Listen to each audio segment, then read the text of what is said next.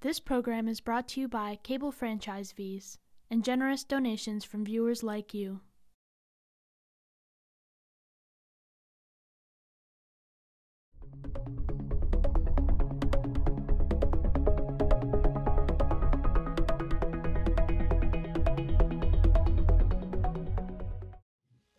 The appointed hour is 6 o'clock being reached. I want to welcome everybody to this meeting of the Amherst Zoning Board of Appeals. Pursuant to Governor Baker's March 12, 2020 order suspending certain provisions of the open meeting law, General Laws Chapter 30A, Section 18, and the Governor's March 15, 2020 order imposing strict limitations on the number of people that may gather at one place, this public hearing of the Town of Amherst Zoning Board of Appeals is being conducted via remote participation. No in-person attendance of members of the public will be permitted, mm-hmm. but the public can listen to the proceedings by clicking on a link on the town's webpage. In accordance with the provisions of Massachusetts General Laws, Chapter 40A and Article 10, Special Permitting Granting Authority of the Amherst Zoning Bylaw, this public meeting has been duly advertised and notice thereof has been posted and mailed to parties at interest. My name is Steve Judge. As chair of the Amherst, Boarding, Amherst Zoning Board of Appeals, I call this meeting to order. We will begin with a roll call of the regular members of the ZBA who will be impaneled for the consideration of the comprehensive permit. I'm Steve Judge. Mr. Langsdale, Here. Ms. O'Meara,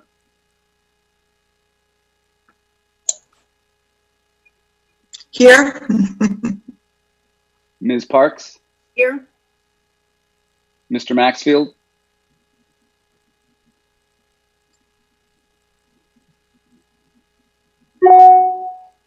hear me okay? yep, is that Mr. Maxfield? In fact, I've arrived. All right. And the associate ZBA members, Ms. Sharon Waldman, I'm here. Mr. Barrick, Here. Mr. Greeny, Here. and Mr. Meadows. Here. Also in, in attendance is Maureen Pollock, planner, Christine Brestrup, planning director, uh, Dave Ziomek, assistant town manager, and Nate Malloy, planning uh, planner in the Department of uh, Planning, and John Witten of the KP Law Firm, who's assisting the board in this matter.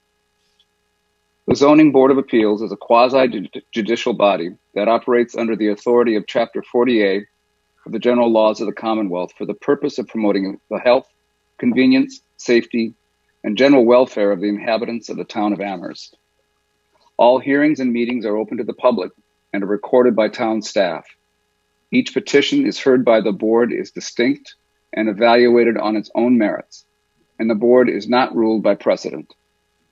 The subject of tonight's public hearing is ZBA 2020-39, a request by Valley Community Development Corporation for a comprehensive permit to construct a multifamily building containing 28 units located at 132 Northampton Road, Amherst. Tonight's agenda, this is the first of several public hearings and the public meeting that will be held in request in on this request for a comprehensive permit. Tonight's agenda is as follows. We're going to note the submittals received by the board from the applicant, town boards, committees, as well as the applicants themselves will give a full presentation of all of, to the public. We'll review the June 23rd site visit. There will be an overview of the 40B comprehensive permit process, which is a little different than the process we use for special permits. We will discuss and consider the town's subsidized housing inventory and a motion to invoke a safe harbor. The assistant town manager, Dave Ziomek, will give a presentation on how we got here. The applicant will give a full presentation of the request for a comprehensive permit, and the impaneled members of the ZBA will ask questions. We will also set a deadline for responses to questions that could not. After discussion with the applicant and questions from the board members, we will schedule subsequent public hearings and meetings to consider this application. The board will conclude its meeting by 9 o'clock tonight. It is possible that there will not be enough time for public testimony tonight. There is already a public hearing scheduled for July 2nd, at which the public comments will public comments will be heard, and we will have other hearings at which public testimony will be taken. I want to review the ways in which the public can be informed about and comment on this application, in addition to these public meetings. Residents can be notified of any additional information recorded by the town concerning this application through the Notify Me feature on the 132 Northampton page of the town website. Also, all copies of all submissions can be found on the town website. Public comment can be submitted on the town website or through an email to Maureen Pollock, planner at P O L L O C K M at amherst.amherstma.gov. This meeting will be broadcast by Amherst Media on Channel 17. And of course, there will be public, comment tonight if time permits, and certainly at future public hearings. Tonight, the board is holding a public hearing on ZBA FY 2020-39, Valley Community Development Corporation, 132 Northampton Road, requesting a comprehensive permit under M- Massachusetts General Laws, Chapter 40B, to construct a new two and a half story residential multifamily building containing 28 small studio apartments and related common areas on an approximate 0.88 acre property located at 132 Northampton Road, map 14C, parcel 8, general residence and educational zoning districts. Before we begin, are there any disclosures by any uh, members of the ZBA?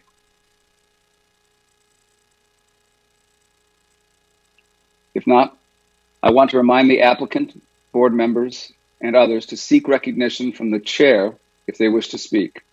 You can do that by using the raise your hand feature in Zoom. When recognized, unmute yourself, and when you have finished, please place yourself back on mute.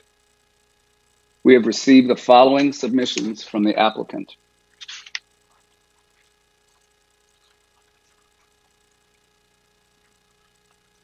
Comprehensive permit applications, check for applications fees, project summary, development team biographies, a butter list request form, locus maps, zoning maps, a table of community concerns and responses, and a table of zoning waiver requests. In addition, we've received a plan set of approximately 30 different plans, um, which I'm not going to run through all of those different, um, but they're all done by Austin Design, Tighe and Bond, and Berkshire Design Group and Stevens and Associates, and dated May 8th, 2020. We've received a stormwater stormwater management report, a manage, management plan form and narrative, a sample lease, a sample residential tenant handbook, housing management resources book, household member resident policy, bedbug policy, tenant charge list, parking study, a traffic study, site control, including the deed, site approval letter, um, and finding of no adverse impact by the Massachusetts Historical Commission dated January 2nd, 2020. In addition, we've received from um, submittals from municipal boards and the staff, a letter from the town council president, Lynn Griesemer, on behalf of the Amherst Town Council dated February 24th, 2020. A letter from Amherst Town Manager Paul Bockelman dated February 24th, 2020. Letter from Christine Brestrup on behalf of the Amherst Planning Board dated February 21st, 2020. Letter from Chair John Hornik on behalf of the Amherst Municipal Affordable Housing Trust dated January 23rd, 2019. A letter from the Chairman Michael Burkhart on behalf of the Amherst Housing Authority Board of Commissioners dated February 27th, 2020. And another letter from the Amherst Town Council dated June 15th, 2020. In addition, town staff has submitted the following a project application report dated June 23rd, 2020, comments from the Amherst Fire Department, Department dated June 9th, 2020, comments, additional comments, comments from the Amherst Fire Department dated June 18th, 2020, letter from Christine Brestrup on behalf of the Amherst Planning Board dated June 18th, 2020, comments from the Amherst Municipal Affordable Housing Trust dated June 17th, 2020, comment, comments from the Amherst Town Council dated June 15th, 2020, and comments from the Massachusetts Department of Housing and Community Development, Chapter 40B subsidized inventory for, for Amherst, Massachusetts, dated June 2nd, 2020. As of 3 p.m. Tuesday, June 23rd, we have received 31 public comments. Um, Maureen, are there additional comments since then that we have received? Uh, yes. Um, so uh, um, the Amherst Health Director submitted comments today, June 25th, 2020, and additional uh, public comments were submitted uh, as of uh, uh, this afternoon. Um, I don't have the total list of submissions of those public comments. If you give me a moment, as a, Those would all be available on the website.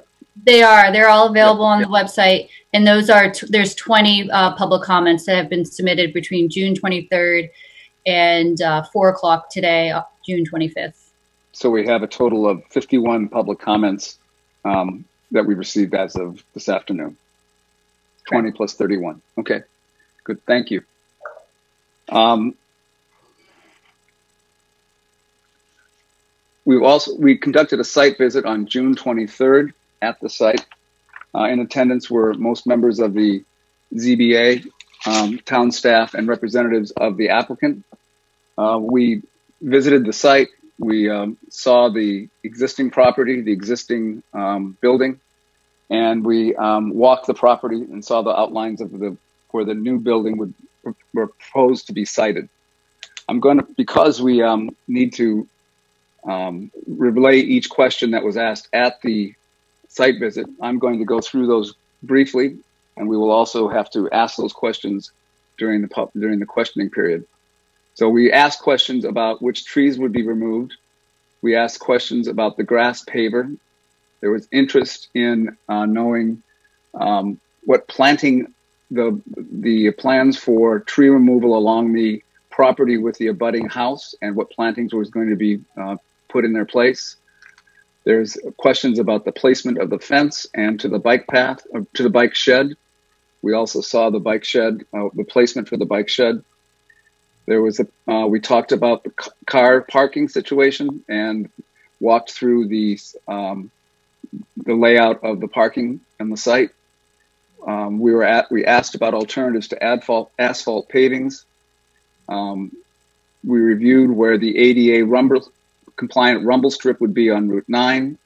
Uh, we also had questions about the timing of the sidewalk, um, construction on Route 9, qu- questions about demol- the demolishing the existing building, the cost of the building per unit, um, landscaping potentials for shelter to, to shelter noise from Route 9 to the new structure. Uh, we saw the location of the smoking pavilion. Uh, we looked at, we asked a question about whether the apple tree at the back of the property near the fence with the Amherst College football field would be removed. We had questions about the height of the new building, and um, we measured eight uh, the eight foot how how much an eight foot fence would shield the abutting property from the new um, newly constructed property. In addition, there was questions about whether some trees would be um, would be left, and if there's any consideration given to planting between the trees um, on the border of the property and the abutting property rather than removal and planting of new trees. Um, we asked about the cost per unit, total budget for the property, and we looked at the locations of the proposed buildings. Those were the questions asked at the um, that I remember that were asked at the site visit. Do any members of the board have additional questions that were asked at the site visit, which should be noted at this time?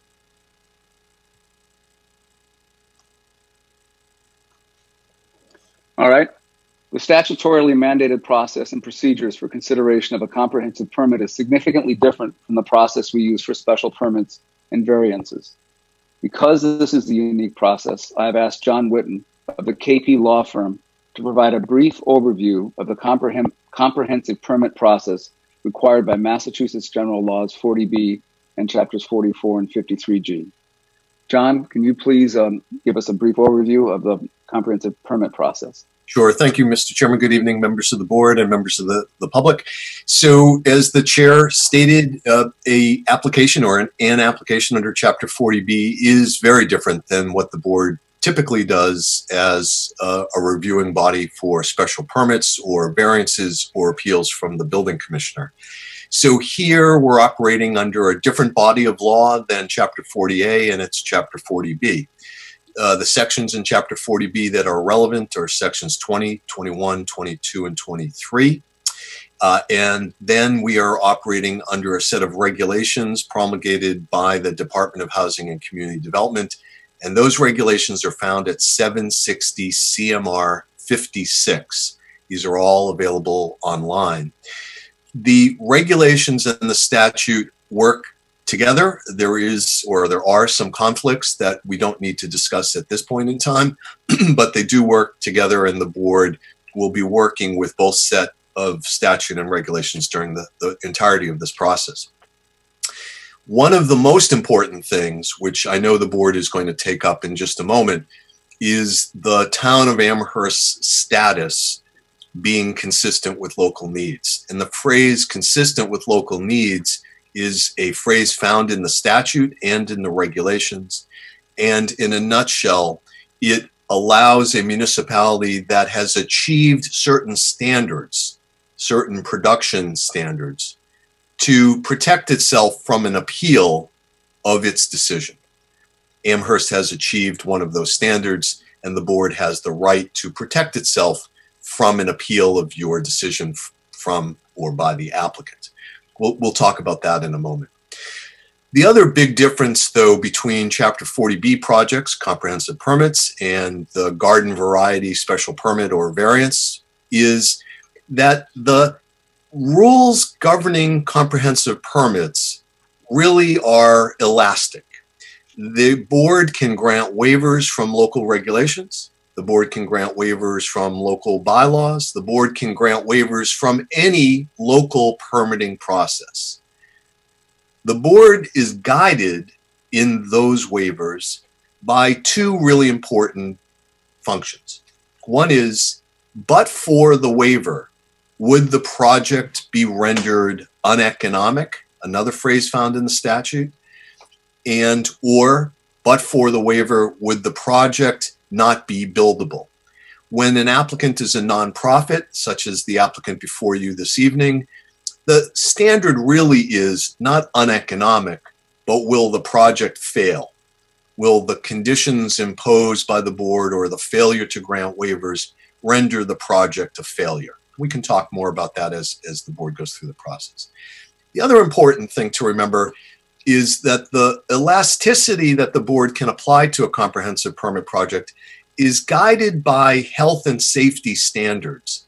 The statute, Chapter 40B, specifically calls out health and safety of the residents of the proposed development, health and safety of the abutters to the proposed development as a general theme, and provisions for open space is explicitly called out for in the statute. So the board is operating really under two principles. One is we don't want to make the project uneconomic or render too many conditions such that it fails if the board wants to approve it. And the board is balancing all this by the need to protect the health and safety of the occupants and the general community at large. All of that is diminished by the fact that Amherst is consistent with local needs. So a crude way of, of, of phrasing it would be the Board of Appeals could really do as it saw fit with an application under the comprehensive permit statute because the board has achieved this consistency with local needs. But of course, it's much more complicated than that. The board needs to entertain this application and the board needs to review it and decide ultimately whether it should be approved with conditions or denied. But being consistent with local needs means that the applicant cannot appeal your decision. And we will get to that piece in, in just a moment. So, Mr. Chairman, I, am happy to talk further, but but if, if that's sufficient, let me let me stop there. I think that's that's good. Gives us a good overview. Massachusetts cities and towns are in a safe harbor from the statute and regulations governing comprehensive permit applications, such as the ones we are hearing this evening. They are entitled to render a decision on the application without the applicant being able to appeal an unfavorable decision by the board. These safe harbors, referred to in both the statute and regulation as being consistent with local needs, includes a city or town containing at least 10% of its year round housing stock being defined as low or moderate income housing. Amherst has well over 10% of its, of its year round housing stock qualifying as low or moderate income housing. Therefore, Amherst is consistent with local needs and is entitled to the benefits of this safe harbor.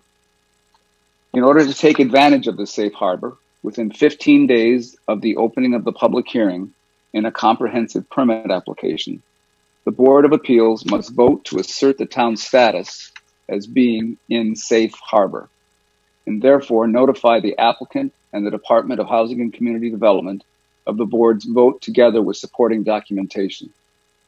The applicant has the right to challenge such assertion, and if it does, the board's requirement to close this public hearing within 180 days from tonight will be tolled while the parties await a decision from the Department of Housing and Community Development. Given Amherst's status as consistent with local needs, it is presumed that the applicant will not challenge the board's assertion should the, should the board vote to do so. It is important to note that Amherst status as consistent with local needs or being in a so-called safe harbor does not require that the board deny this application. Rather, being consistent with local needs means that the comprehensive permit applicant has no legal right to challenge a decision of the Board of Appeals, whether that decision is a denial or an approval with conditions. Finally, due to revisions to the regulations that govern this process, although in conflict with the statute, the board must assert the town's status now in order to obtain the benefits of being in a safe harbor. Put it other, putting it otherwise, if the board does not assert safe harbor tonight or within 14 days from tonight, the board will not be able to assert it later, and any decision on this matter would be appealable to the State Housing Appeals Committee. The town of Amherst currently has 12.59% of its housing stock qualified as low or moderate income housing. As such, I think the house, as such, it's evident that the town exceeds the 10% threshold for safe harbor. I move that the Board of Zoning Appeals declare the town of Amherst is consistent with local needs as the phrase is contained in General Laws Section 40B, Chapter 40B, Section 20, and 760 CMR 56 as the town of Amherst has over 10% of its year-round housing stock deemed as qualified or moderate income housing. Is there a second? Second. Is there any discussion? No. Hearing no further discussion, the vote is on the motion. All votes must be by roll call. I vote aye. Mr. Langsdale? Aye. Ms. O'Meara? Aye. Ms. Parks? Aye. Mr. Maxfield? Aye. The vote is five nothing. The motion is approved. The next order of business is um, a presentation by Assistant Town Manager Dave Ziomek, who will do who will talk about the progress and the, the history of this applicant and the town's involvement in providing for the uh, affordable housing in Amherst. Good evening, and thank you for having me. I just want to make sure everybody can hear me. Yes? Yep, it's good. Great. Thank you very much for uh, allowing me some time tonight. I'll try to be brief. Um, I will be happy to share my remarks um, with uh, staff, and they can be um, uh, put in put in as part of the record. Uh, my name is Dave Ziomek. I'm the assistant town manager, and I oversee the Department of Conservation and Development for the town. Um, that department covers a range of projects, uh, as the title indicates, from conservation, uh, village center development, and also affordable housing. Um, and I'd like to give a little background on this project from the town's perspective this evening. Um, as you know, there's a longstanding recognized need for housing for low income and homeless people in Amherst. This need has been well documented by several studies, including, including the Housing Production Plan from 2013 and the Housing Market Study from 2015. Craig's Doors at the First Baptist Church was opened in 2011 as a seasonal shelter for homeless people. In 2019, it housed well over 100 people uh, throughout the season. In July of 2016, the town held a public forum on homelessness that was attended by over 100 people. representatives of several service providers spoke about the region-wide need for shelter and housing for low-income people. Residents came together to address issues related to housing for low-income and homeless people. The town has been successful through the years partnering with many organizations, both public and private, to provide affordable housing opportunities for individuals and families. Some examples through the years, um, if I could just go through a few, Olympia Oaks, 42 units, Butternut Farm, 28 units, Ann Whalen Apartments, uh, 88 units, Chestnut Court, 48 units, North Square in the Mill District, 26 units, residential apartments, 6 units, University Drive mixed use building, 4 units, Aspen Heights on Route 9, recently 11 units, and they're under construction right now. My staff and I continue to work, look for ways to build or incorporate affordable housing units into current and future projects. Our master plan in Amherst contains a chapter on demographics and housing. Among the statements contained in the master plan are encourage the development of economically diverse neighborhoods, partner with local community development corporations, nonprofit organizations, and other groups to expand affordable housing. The master plan also states to improve, improve housing and services for people in areas in the area who are homeless, and many other statements uh, supportive of, of developing affordable housing throughout town. This project, I just want to talk specifically about this project and, and how staff and I have looked at it. The location of the project is a good one. Um, it's on a busy connector road within walking distance of bus stops. The project is within walking distance of downtown Amherst and shopping areas along University Drive. Pedestrian and bicycle improvements are planned for this stretch of Route 9, which will make walking and biking on Northampton Road safer and easier. The project makes sense in terms of infill. It is a property that is already developed in a neighborhood and has already um, uh, been developed for many years specifically the history of, of working with the town. Valley CDC has been talking to Amherst about this type of project for several years. The Valley CDC went through an extensive process of looking at other properties in town and dismissed many of them because of cost, location, or unsuitability. A few years ago, Valley discussed a possible Northampton Road location with, with the Amherst Homeless Systems Group and the Amherst Municipal Affordable Housing Trust. Support from Amherst for this project has been consistent and strong. Valley has already received funding from our CDBG program for site assessments and feasibility studies to identify the site. In January 2017, Valley discussed the supportive housing model with the zoning subcommittee of the planning board and discussed a change in the zoning bylaw to allow same size apartment units in an apartment building if all were affordable. In the spring of 2017, Amherst Town meeting voted overwhelmingly to approve a zoning amendment that will, would allow apartment building to have a, um, one size units if all units were affordable. In 2019, the town included 200,000 for Valley CDC in its CDBG application for architectural fees and energy consulting for this project. And in 2019, the town council voted to approve a CPAC request for $500,000 in support of the project. So in summary, uh, this project meets many of the goals and objectives of the town for sheltering and housing people of low income and people who are homeless. The town has been talking to Valley CDC about a similar type of project since 2017. This is a good project that meets many of our goals and objectives, and we encourage the ZBA to carefully consider it. Thank you for your time this evening. Um, and I would be happy to submit my, my comments uh, for the record. Thank you. Thank you.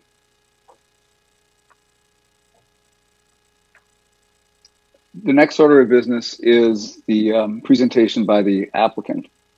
So the applicant is now recognized for a presentation on the requested comprehensive permit, including the plans for the building, the perceived needs for affordable housing, and other matters that the applicant believes will aid the board in its consideration of the comprehensive permit request. I want to, to remind the representative of the applicant and any consultants to state their name and address before they begin to speak for the record. Also, please note that should you seek that they also please note that you should seek recognition from the chair before you speak. I also want to encourage my fellow board members to limit any questions during the presentation they may have to clarifying questions. If you think of a, substan- a substantive question during the applicant's presentation, please make note of it so you can ask that after the applicant has completed its presentation. I will assure you that there will be ample opportunity to raise any questions you may have after the presentation. But I think it works best to allow the a flow of, of the presentation to go forward. So, um, who is going to begin the presentation for the applicant? Um, I'm Laura Baker, uh, the real estate project manager, hi, for Valley Community Development. Um, and I will begin it and I will be the one trying to manage our PowerPoint presentation, um, although we will have several speakers during the course of the presentation. Um, is this Okay, a good time Laura, to introduce our team? It's a good, yeah, it's a good time to introduce the theme. Okay. You and everybody should name and give us your name and address for the record. Business address or home address? Business address is fine in this case. Okay. Uh, I'm from Valley Community Development Corporation. We're located at 256 Pleasant Street, Suite A in Northampton, Massachusetts. And I'll turn to Rachel. Rachel Leffler with Berkshire Design Group at 4 Allen Place in Northampton, and I'm a resident of Amherst. Tom, you're muted. Chalmers, you're muted. Right, got it. Thank you. Uh, Tom Chalmers at Austin Design, uh, located at 2 Mead Street in Greenfield. And Felicity, who we have by phone. Felicity, you're muted.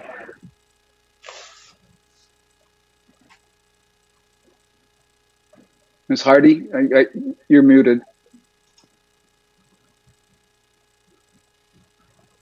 Felicity, you should be able to speak now. Um, I'm, I'm joining by phone because for some reason my computer audio is not working. Can you hear me now? Yes. Yes. I am Felicity Hardy. I am with the Felicity Hardy Law Practice in Springfield, Massachusetts. Can't hear her. Valley, Valley Ms. Hardy, is there any way you can um, speak louder or turn up the volume on your phone? Hold on one second. Let's try this. Is that any better? Not much. I'll try to project. How about that? No. Is that Um, working? well, it's it's very faint, but um, do your best uh, and Okay. project as I'm much as possible. I, don't, I, I honestly don't know why this is not working, um, but for some reason the computer audio is not Unintelligible. working for me tonight. So I will introduce Felicity, uh, Felicity Hardy from Felicity Hardy Law Practice. Uh, her law practice is based in Springfield. Okay. So I am going to share screen now and see if we can get our presentation to come up.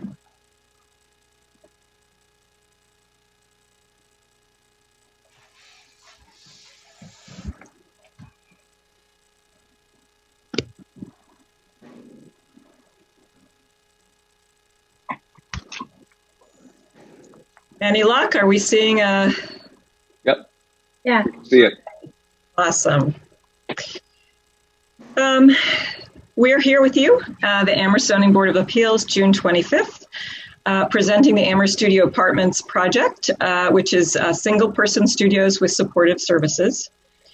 Uh, we will note, as uh, the chair has, that the full zoning permit application and the full plan set are available for re- review on the town's website. Web page is given there below. Uh, I'm going to move pretty quickly because I feel like I'm I'm following what uh, Dave already presented, um, which is namely that the town has identified uh, the needs that led to the development of this project in a number of town documents, including the town's uh, community development strategy, which uh, its first priority is to create affordable and fair housing options for the chronically homeless and extremely low income, low and moderate income families, individuals, seniors, etc. Uh, the Housing Trust strategic plan cites that smaller, affordable units for individuals, including persons now accommodated in the shelter, is one of their high priorities. Uh, the town's housing production plan uh, names production of housing for at risk and special needs populations, as well as people at risk of homelessness or ha- who have special needs that require supportive services. Uh, again, I'm going to move pretty fast. This presentation I can make available to people. Um, it takes us through some of the history that, that Dave mentioned. Um, Valley actually partnered with the town beginning in 2008 on trying to respond to the need for housing homeless individuals. Um, so the town issued an RFP to study creating enhanced single room occupancy units with social services to house homeless individuals. Valley responded and was selected. Uh, we completed a feasibility study in 20, 2009 and made an offer on a property. Uh, the property owner refused the offer that we made. Uh, Dave mentioned the town forum on homelessness, which had a loud, large crowd in 2016. Uh, in 2016, also, the town planning department organized and conducted a tour for several affordable housing developers, including Valley, uh, and public funders to try to spur interest in the creation of supportive housing for homeless individuals in Amherst. Uh, 2017, the initial uh, planning grant, CDBG planning grant, was awarded to Valley for just over $50,000 to conduct site search and site feasibility analysis to create six between 16 and 40 units of supportive housing, including units for homeless individuals. Uh, town groups have held a series actually of forums on affordable housing that highlight the topic of housing needed for homeless individuals. Uh, zoning subcommittee and planning board have held hearings, as Dave mentioned, to change the zoning to allow for one type of size of unit in an affordable housing uh, development. Uh, in 2018, uh, we, Valley, me, looked at perhaps two dozen potential sites uh, using the CDBG planning funds and ended up selecting 132 Northampton Road, which was then acquired in January of 2019. Uh, also in 2018, the CDBG Advisory Committee held a public hearing, uh, including information about our site search and this location. 2019, the CDBG Advisory Committee, following public hearings, recommended uh, another $200,000 grant for planning and pre-development for this particular site at 132 Northampton Road. Uh, in 2019, as we heard, the, the CPA recommended uh, $500,000 for pro- project implementation. Uh, the town hosted an open town meeting with over 80 attendees to discuss the development, and there were many letters and newspaper articles written about the project uh, around that time.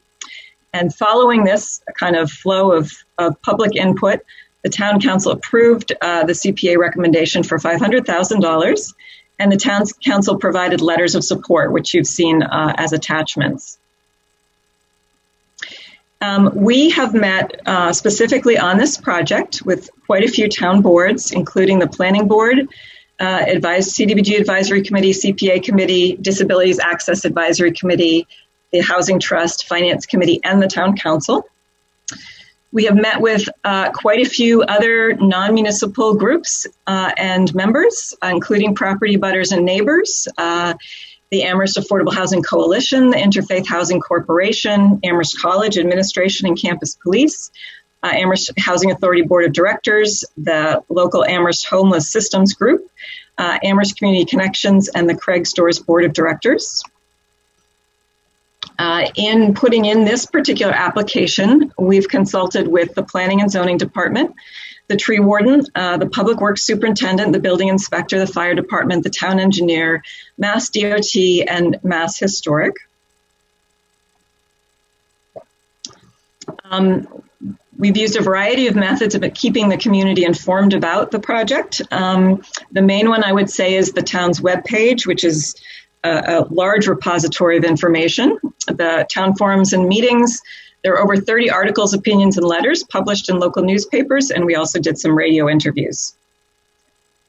Uh, community input. Uh, it sounded like you had 51 uh, letters just for this opening hearing.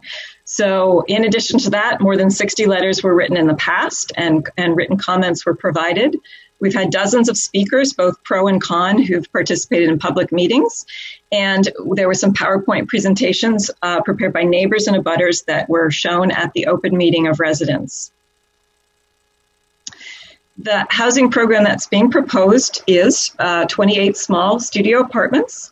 Uh, each apartment would contain its own bathroom and a kitchenette. Uh, common areas, including a lobby, a multi-purpose common room, a shared laundry, two on-site staff offices, one for property management and one for resident services coordinator. Some of the site features that we'll show you visuals of in a little while are 16 parking spaces, green dumpsters, an outdoor shed, covered bike storage, gardening areas, a designated smoking area, and robust new landscaping. An overview of the building is as follows. It's one single building. It is two and a half stories. Uh, it is three full floors. The half story is a below, partially below grade uh, story. Uh, it's 28 units. Uh, they're all studios. Two of these 28 are handicapped accessible. The average gross square foot for the units is 235 square feet. Some are a little bit smaller and some are bigger. Um, and the average for the accessible units is quite a bit bigger at 393 gross square feet and the total square footage of the building is just under 12,000 gross square feet. In terms of the kind of technical aspects of who qualifies uh, to live in the proposed housing, uh, we are proposing 10 studios with a homeless preference for very extremely low income people earning below 30% of the area median income at a proposed rent, which is actually the current fair market rent with a subsidy, an in house subsidy, so that these folks would be paying one third, approximately one third of their income for their housing costs. Two studios, again, uh, with a referral from Department of Mental Health for their clients. Also, extremely low income individuals, again, having their own uh, project based subsidy. Eight studios for low income uh, residents earning below 50% of the area median income with a fixed proposed rent of $740 and eight studios. Oh, sorry, I have a bad typo. This should be 80% AMI who are moderate income, and the proposed rent is $795. Um, rents tend to go up and down a little bit with the median income and the standards that are set by the state and the federal government. Currently, these are the income restrictions at these different income tiers, just to give you a sense of what the maximum income for this one person household would be. Um, if they that one person household was paying 32% of their income for rent, this is what they could afford to pay for both rent and utilities. And so this is the range of people, income range of people who could afford the particular units that are being proposed who will live here. Um, the majority of studio apartments will house low and moderate income employed persons who are equally likely to be male or female. Um, we continue to have some misinformation circulating that this property will be only for men. Um, that has never been uh, something that we've proposed. Um, it's it's based on application. We're not allowed to discriminate based on sex, so it will be a mix of men and women. Uh, a few quick statistics about Amherst housing uh, and income in general. An individual working 40 hours a week uh, for minimum wage would earn just under $25,000 a year. The median per person income in Amherst is lower than that. It's about 20,000. The median single person household income is 28,000. The median rental household income for all size households, singles, doubles, triples, quads, is 20, only $28,290. Uh, 42% of Amherst renter households are severely cost burdened, which means they pay more than 50% of their income for their housing costs. So within this proposed um, housing, uh, eight studios would have an income cap of just under 30,000, which is 50% of the area median income. And as you can see from the numbers above, a large proportion of Amherst renters would be income eligible uh, including service workers, laborers, maintenance staff, healthcare aides, and teaching assistants. Eight would have an income cap of 40, just under $48,000. Uh, income eligible persons might include uh, associate level administrative staff, paraprofessionals, social workers, and adjunct faculty. Two studios uh, for tenants referred from the Department of Mental Health with this lower income cap uh, who may be employed full time, part time, or unemployed. Uh, they will receive regular and ongoing clinical and support services from the Department of Mental Health. And then 10 studios with a homeless preference, and again, a very low income um, threshold. So, uh, for our definition for this property, homeless persons are, are those who lack adequate permanent affordable housing. And in addition to people who might be in a shelter or living outdoors unsheltered, um, homeless persons can be defined as those who might be fleeing domestic violence, living doubled up somewhere with family or friends, living in a building that doesn't meet code, uh, paying more than 30% of their income for rent, which, as we saw, applies to 42% of the renter households um, in Amherst. Sorry, no, it's, it's an even higher number than that. Uh, in housing that was damaged by fire or natural disaster, uh, are needing to move due to a disability, or are separating, separated or divorced, and cannot remain in the family home and cannot afford a second home. Um, the development is not limited to chronically homeless persons, which is defined as those who have a long term or repeated homelessness coupled with serious mental illness, substance use disorder, or disability. And nationally, about 24% of homeless individuals meet the definition of being chronically homeless. Um, I'm going to talk for a minute about the subsidized housing inventory. This is in no way to um, disagree with what Attorney Witten told you. Um, in fact, Amherst does have more than 10% of units listed as eligible on the state's subsidized housing inventory. So, according to the town, it has 1,211 units um, that are eligible for listing. Um, I updated the total housing units uh, from the most recent census data available, which is 10,294, putting the town at just under 12% of affordable units. Um, what a lot of people may not realize is of these 12, 1,211 units, about 356 are market rate units. So, for example, only 26 of the units at of the 130 units at North Square are actually restricted as affordable. The rest are market rate. Yet all 130 are counted on the subsidized housing inventory. Of the 204 units at Rolling Green, only 41 are restricted as affordable. The balance are market, but all of the 204 are counted on the subsidized housing inventory. Uh, the ratio of these truly preserved affordable units to the total units in Amherst is 8.3%. Uh, the Massachusetts Department of Housing and Community Development currently has a funding priority for communities with fewer than 12% of the housing stock listed on the subsidized housing inventory. Local preference. Uh, within Massachusetts, uh, cities and towns may request local preference from the Department of Housing and Community Development for up to, but not exceeding 70% of affordable units within the initial lease up lottery. Um, the state defines uh, local preference, current residents of the town, uh, people employed for a business in town or working for the municipality, and people having children enrolled in the local school system. Um, there are uh, pros and cons to local preference uh, since housing is both a regional need and a regional resource. And there may be people who feel local, for example, someone who grew up in Amherst, who do not meet the state's definition for local preference. Um, and just a note during the lottery process, the local preference pool must be balanced with minority applicants from other areas to match the percent of minority residents within the statistical area. Um, this is so that a local preference doesn't become a de facto racial barrier. Um, if there are not enough uh, local preference applicants, units can be filled from the open lottery pool. Um, we've had a lot of comments about you know why why build housing at this location for individuals and why not build a mix or why not build um, housing for families? So i just wanted to address that briefly. Um, in massachusetts there's a legislative mandate to shelter homeless families.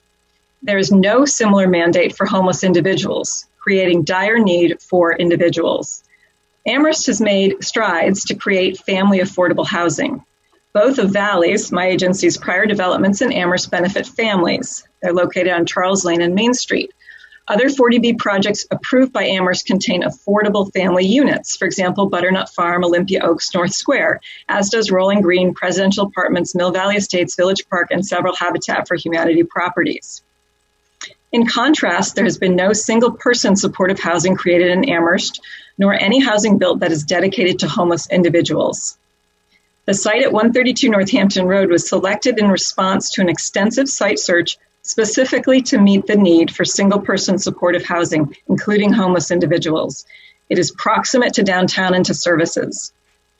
The power of the single person occupancy model is that it provides a home for persons who may lack social or familial supports. The proposed building has the potential to stitch together an extended family fabric for individu- individuals who might otherwise be isolated. Um, as I've mentioned, this is uh, a project uh, development that is intended to provide on site supportive services for residents. Uh, these are voluntary services, and some people will use them and some people won't. Some people will need them and some people won't. Um, the elements, the key elements of this service plan are an on site dedicated resident services coordinator, approximately 27 to 30 hours a week. The functions of this uh, position include uh, connecting tenants and residents with community based services, helping with any kind of daily logistics, coordinating on site group functions, helping to resolve tenant conflicts, coordinating and providing transportation, and serving as a community liaison. Other aspects of the supportive services plan include signed memorandums of understanding with other community agencies, for example, Elliott Programs, Amherst Community Connections, and the Veterans Agent, to support tenants on an individual basis at the site. Uh, the Department of Mental Health referred clients will have ongoing regular clinical and service supports, kind of wraparound supports through the Department of Mental Health. Um, the selection process for homeless tenants will include a referral from a local agency, and that agency will commit to provide support for at least the first 9 to 12 months of occupancy, potentially longer as needed by individual tenants. As these agencies exit, um, after that kind of critical first stabilization year, they will link tenants as needed with ongoing support services available through community based agencies. The management staffing plan uh, includes property management by a company named Housing Management Resources. They are estimated to be on site approximately 20 hours per week. Their functions uh, include rent collections, compliance, maintenance, upkeep of the property, enforcing terms of the lease. Asset management will continue to be provided throughout the duration by Valley Community Development. We'll oversee the property management, we'll manage capital and operating reserves and major capital repairs, and we'll contract for the resident services coordinator position. A little bit more about the characteristics of the particular site. Uh, it is a central walkable location, four tenths of a mile from town center, and then closest bus stop six tenths of a mile from major shopping centers, and walking distance to multiple service and healthcare providers, including the Musanti Health Center at the Bangs Center. Um, it's on a main road uh, on a state highway, uh, Route 9, and it's connected to public water and sewer. Uh, it's a large buildable lot. Uh, it's cleared and fairly level for its location. It's in a mixed residential area. The butters include single and multifamily residential and institutional uses. It's sited at the junction of three different zoning districts, the ED, RG, and RN districts. The other types of dense housing uses that are nearby include a six unit condo, which is all rented, that's across the street, uh, three residence halls that are on Northampton Road, and a 78 unit assisted senior housing development. Um, this is a map showing the property location. Uh, it is here in this light green color. Uh, it's approximately halfway between the town center and town common and University Drive down in this direction. Um, as you can see, it is adjacent to the uh, athletic field, uh, the track, and the Conway Fieldhouse that's owned by Amherst College. The property almost surrounding it, all the way to over here, is owned by Amherst College. This is a two family rental owned by Amherst College, and this is a single family owner occupied house. Um, in terms of proximity, uh, we're trying to highlight here the various things that are close to this property site. Um, of note is the rail trail is, is very close by. There's an urgent care center that's here. Uh, this is a senior housing development here. There's a church here. You know, there's there's a lot of things that are close to where this project is sited. Um, as you move toward the center of town, you can see from the project site um, the number of bus stops that are within walking distance. And then I'm not going to review it because I think you all probably know all the things that are in town center. There's a blow up of the town center, Craig's Doors, Amherst Community Connections, the pharmacy, fire department, the library is close by, bus stops, bank, there's a bike share location, town hall, Musanti Community Health Center, the Bangs Center, post office, etc. Um, if you're moving toward the west, down toward University Drive, again, there are bus stops. There's another bike share location. There's two large grocery stores, uh, post office, another pharmacy, um, etc. Um, here, we're illustrating that this is the section of Northampton Road that's intended for improvement by Mass DOT. Um, and that would include improving and adding five foot wide sidewalks, multi use paths on either side, both sides of Northampton Road, that would be handicapped accessible. Um, it includes adding two crossings across Northampton Road that would have blinking lights.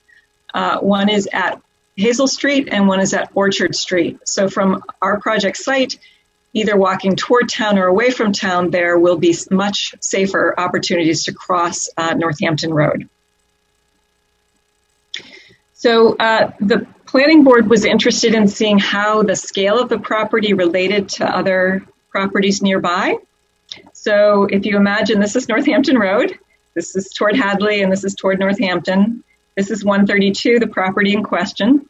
If you were standing across Northampton Road looking at it, this is how it would appear, partly because it's set about 100 feet back from the edge of the site. This is the neighboring property at 126, and then this is how these properties appear if you are kind of right in front of them. Same treatment here with the field house, and then with other houses as you head up toward the town center, and then properties on the opposite side of the road as well.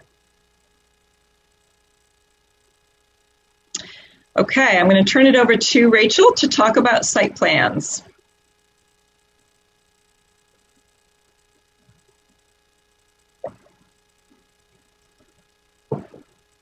Rachel, you're you're muted. Can you hear me now? Yes. Yes. Uh, as Laura mentioned, this is the location of the property on Northampton Road. Next slide. Um, and this is what the proposed project would look at like. Um, one of the, the, nice aspects of this design is that the massing of the building relates really well to a lot of the other buildings in the neighborhood, which you can see from the aerial. Um, the footprint is really similar. Okay, next slide. So this view has rotated a little bit from those previous views. So Northampton Road is on the right hand of the page um, and Amherst College is to the left. So this is the, the view and orientation that I'll be talking through through the next slides. Okay, next slide. Oops, sorry. Okay. Um, this is this is a survey of the site with a little bit of color to help help it be a little bit more legible. The existing house is really set back far into the back portion of the property. It's within the setback. Um, it is it is also the parcel, which we found out later in the process, has two zones uh, within it: partially the ED zone and the RG zone. So the green area shown there shows uh, a little over 1,500 square feet of the ED zone that's in the parcel. Um, utilities coming into the site, as Laura mentioned, uh, fully uh, served by the city. Uh, the water line, which is shown in blue on this plan, uh, actually goes through an easement through the neighbor's parcel. Um, it is not sufficient to support the future building, um, but we'll talk about that later. Uh, overhead electric also comes through the neighbor's parcel, as does um, sewer uh, sewer line uh, that the, the, that the project connects to. Um, and then on the left are pictures of the existing site today. The view at the top is a view of the driveway looking back towards Northampton Road. Um, the view in the middle is looking at the west side of the of the existing house uh, between the house and the field. And the bottom picture shows a view uh, looking towards the back of the property. Okay, next slide. Um, so in the process of the construction, uh, we will take great measures to make sure that we are managing the site and construction. Um, and this is an example of the demo and erosion control plan that we would typically provide. Um, we call for silt sacks and silt fencing around the perimeter downslope areas, construction fencing, a tracking pad, um, and we itemize everything that's being removed um, for clear. Okay, next slide.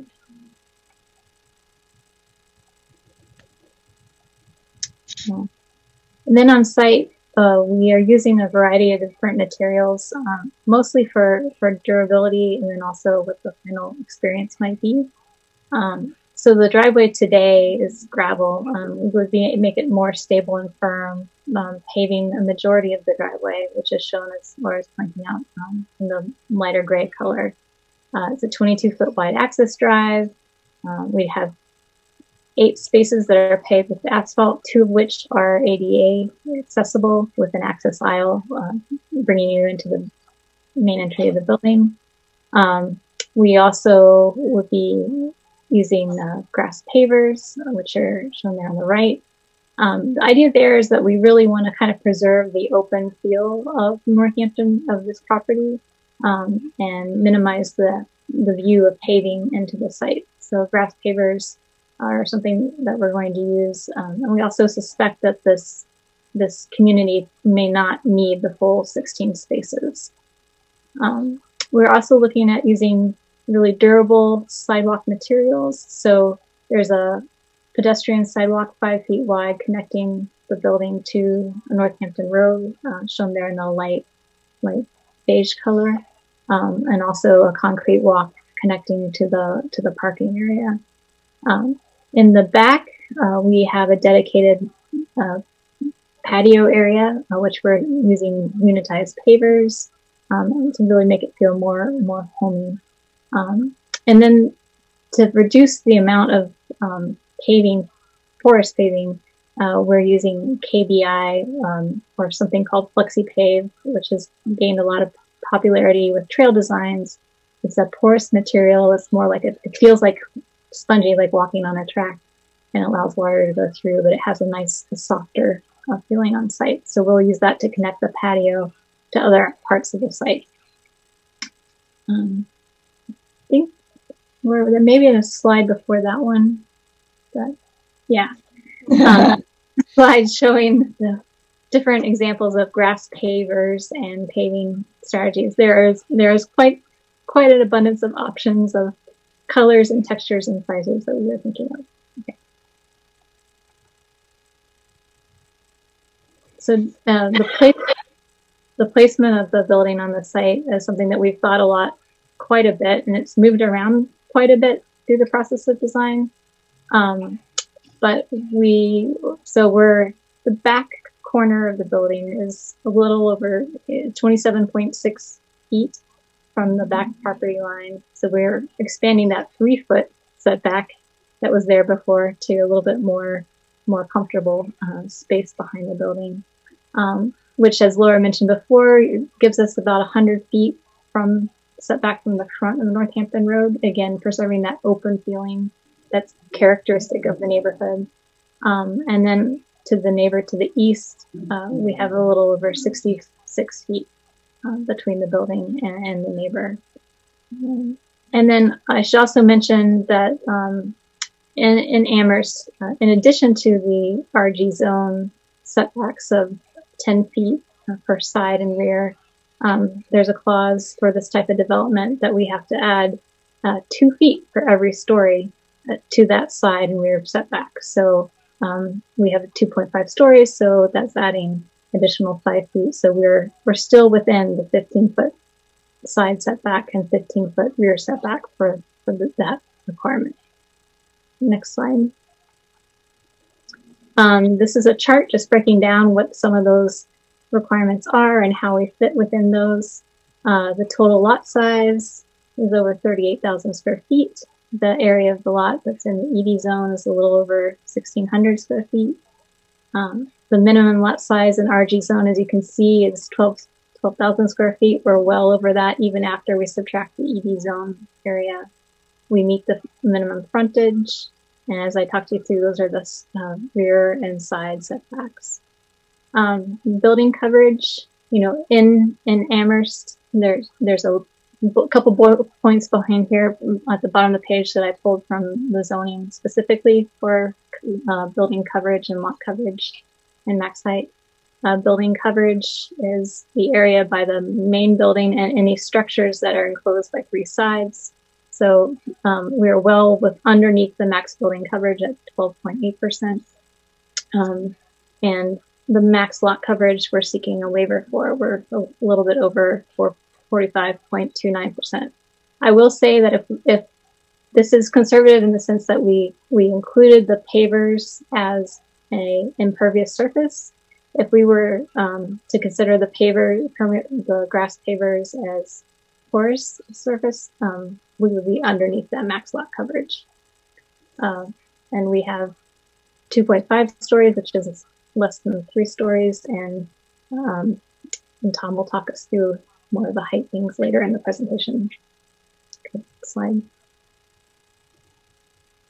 So screening and fencing on site in terms of fencing, um, there's already an existing ornamental rail fence between Amherst property and this property, which will remain for the project.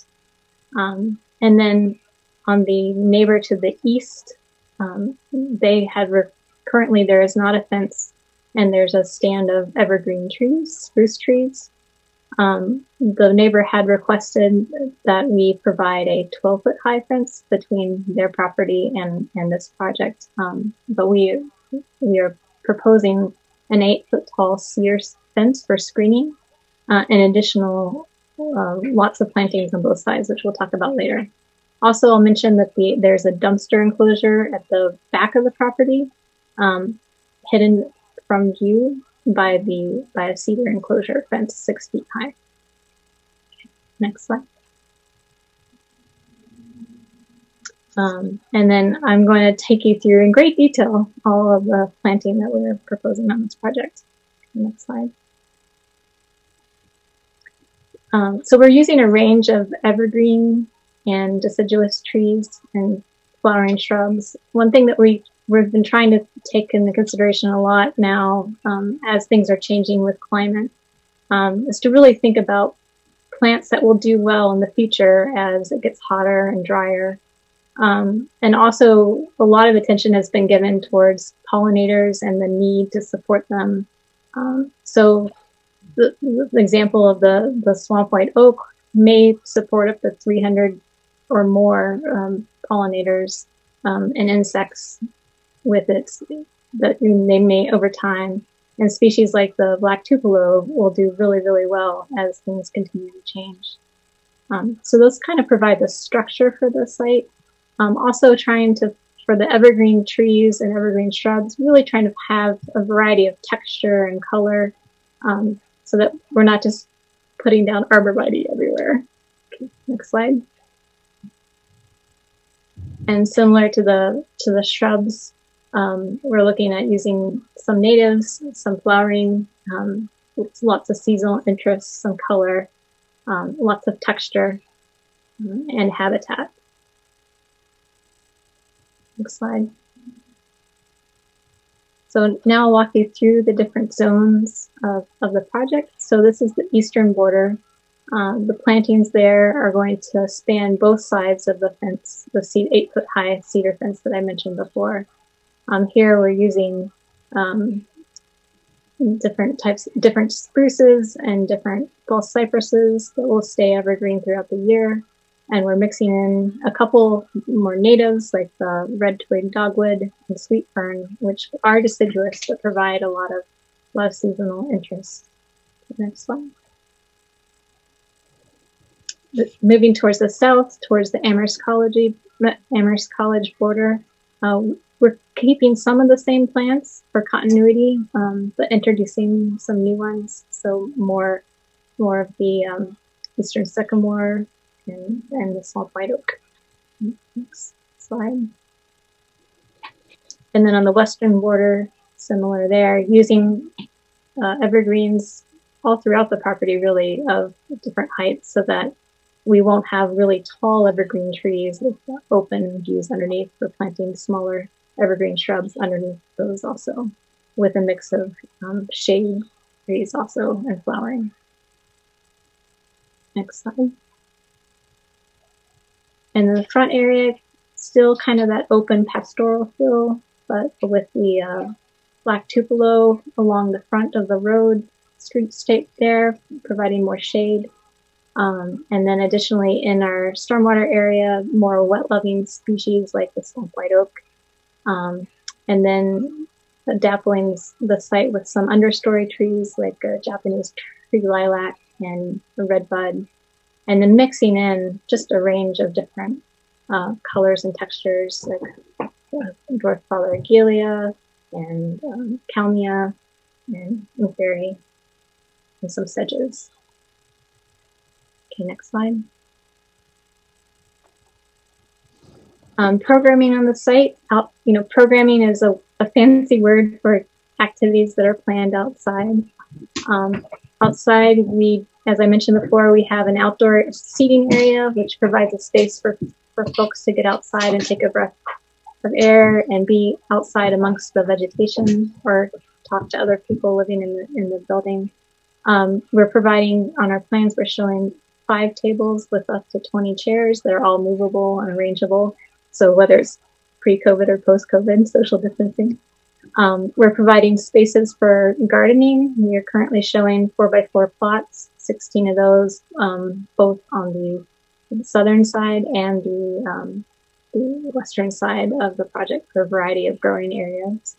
Uh, we're providing a covered bike shed structure um, it can hold up to 16 bikes and right when we're thinking it'll be in the range of 8 to 10 feet tall with a sloped roof and we are proposing lighting underneath it. I'll talk about the lighting in a little bit. And then we have an outdoor pavilion seating area, prefab, um, that's uh, a little bit over 8 feet tall. Um, it's made of cedar and aluminum. Next slide.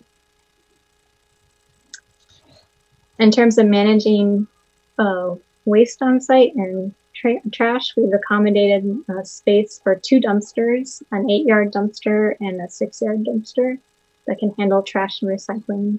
Um, and we've tested out uh, a dumpster truck to make sure that it can turn around on the site. We're using grass paved areas to increase the paving apron for this area to accommodate those turns. Next slide.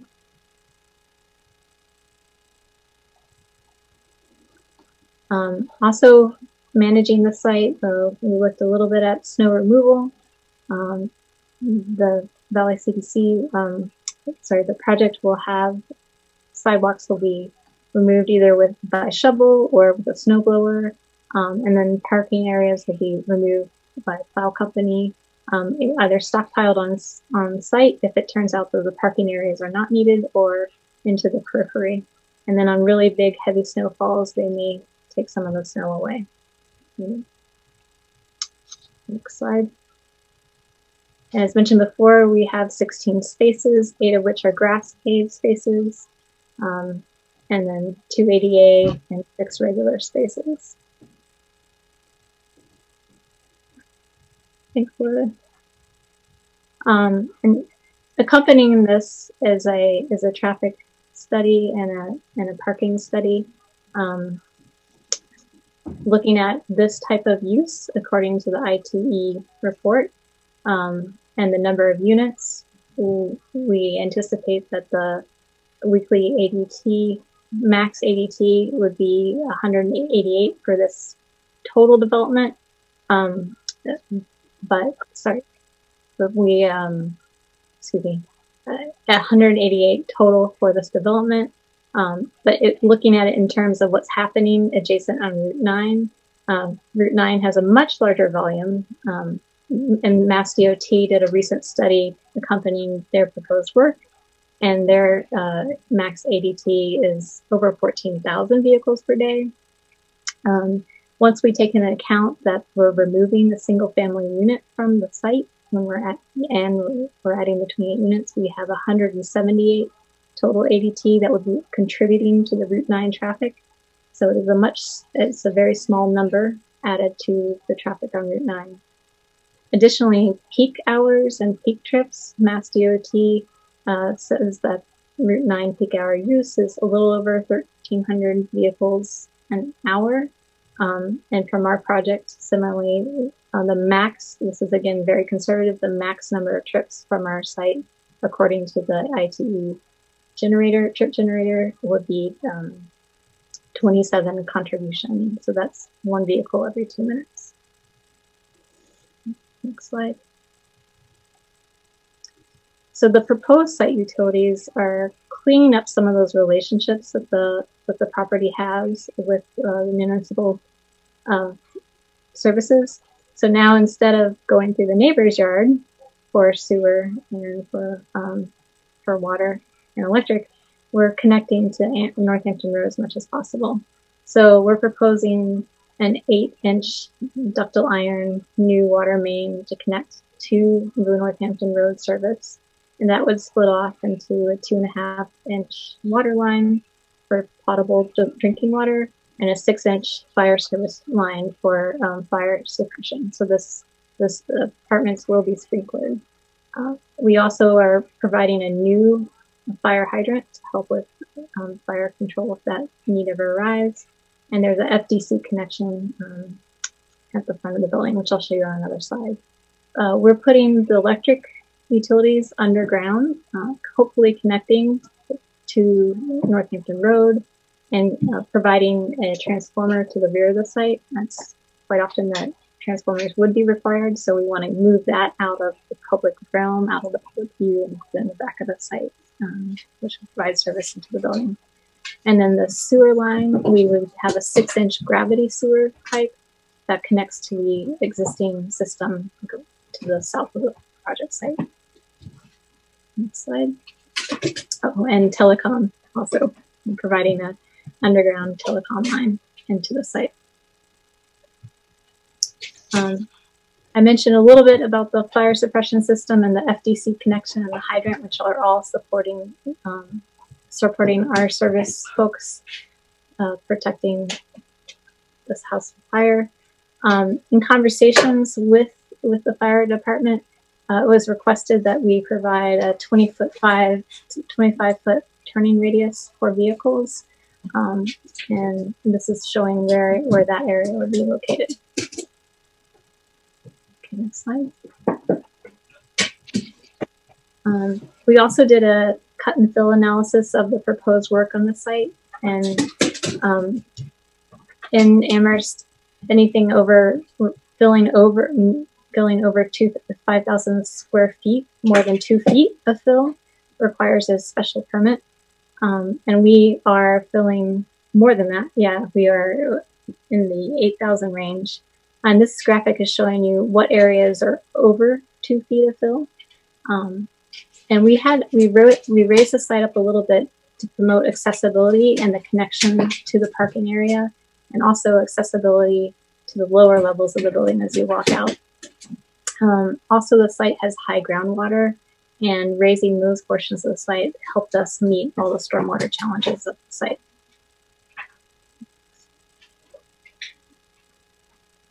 Next slide. And then this is the cut fill analysis of the entire site, not just what two feet of fill looks like. So we are cutting in places and filling in other places. The majority of the site, we're actually making subtle shifts of anywhere from zero to one foot. Next slide. So lighting, uh, this is a an illustrative version of a lighting plan. Um, lighting designers often will like grid out the site to show uh, what, and they measure the foot candles um, in a model on a grid, how many foot candles are at any given point. And this is what we use to check to see and make sure that we don't have light trespass uh, beyond the property line. What that usually looks like is a black and white mess of little dots and little numbers. So what I've done here is I've drawn shapes of yellow around um, any area that has more than zero foot candles. So the lightest shading uh, is 0.1 to 1 foot candle and then the next darkest shading is one to two foot candles. And there's only a, one or two areas that are above two foot candles, and that's right underneath the canopy at the entryway. Um, also, lighting can really, really change the way that a project fits within the neighborhood and also change the way it feels to live there. Um, one thing that I think many of us don't enjoy is feeling like you're under a spotlight or um, the cool the more cool lighting and the way we talk about color in lighting is through uh, kelvin and temperature so uh, 5000 is very bright white light um, blinding white light uh, and then the warmer tone lights are in the 2700 to 3000 range so We've worked with the designer to make sure that every fixture is in the 3000 range so the site will have really soft, warm light. Um, we've also tried to keep the numbers down um, and keeping in mind this more has a more residential feel. So we did have to use some pole mounted lights and those are shown here on the left, what those fixtures look like uh, with the shepherd's hook and a little softer feel. Um, those were needed to provide safety for the parking areas. But the pathways, we chose to use really low bollard lighting um, that are, there's in the back, we're using more of the 20 inch tall variety. And along the front, they're 36 inch high. All the fixtures are fully shielded um, and anything on the building is full cutoff. And they're, um, and we're trying, it's everything is dark sky, I should say. Um,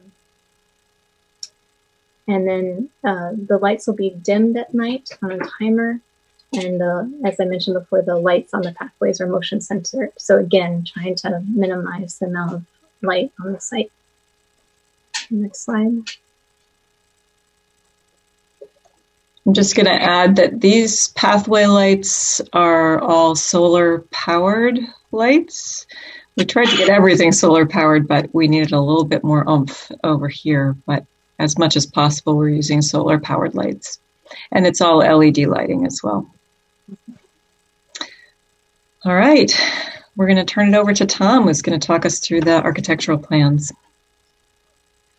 You there, Tom? Yep, I'm here. Awesome.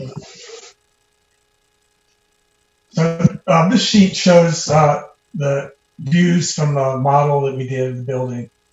When when we first started considering this project, we we thought of we were thinking of a, a, building that was more modern and contemporary massing, similar to some of the newer buildings in Amherst, and that quickly became obvious that that was inappropriate for the site.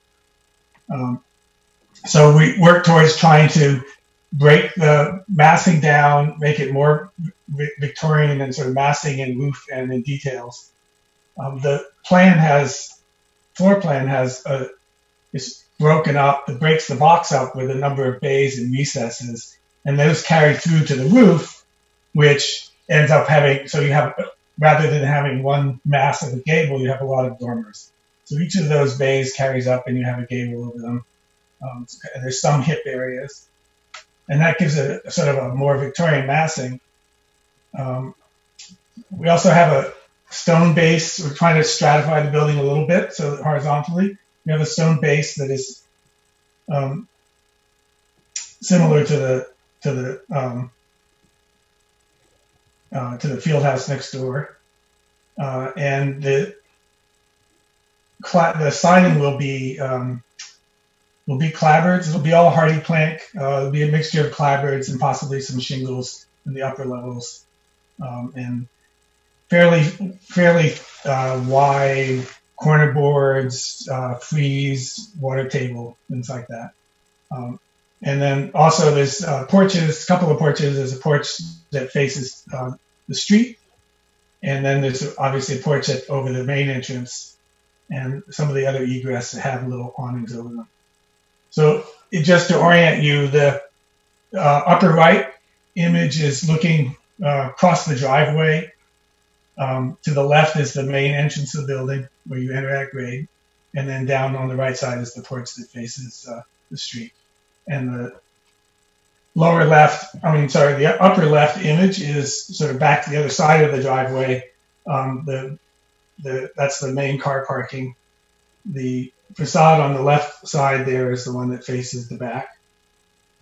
Um, and I guess I can say also right here, it's a little bit clear. The, the grades are not completely accurate in this, but um, in this model, but the part facing the, the driveway is, is really more like two stories and the, and the levels facing the back and the west are three stories. And the front is somewhat in between. Uh, next slide. Here's a series of elevations. This is the front elevation. Um, the entrance is in the center, the porch facing the street.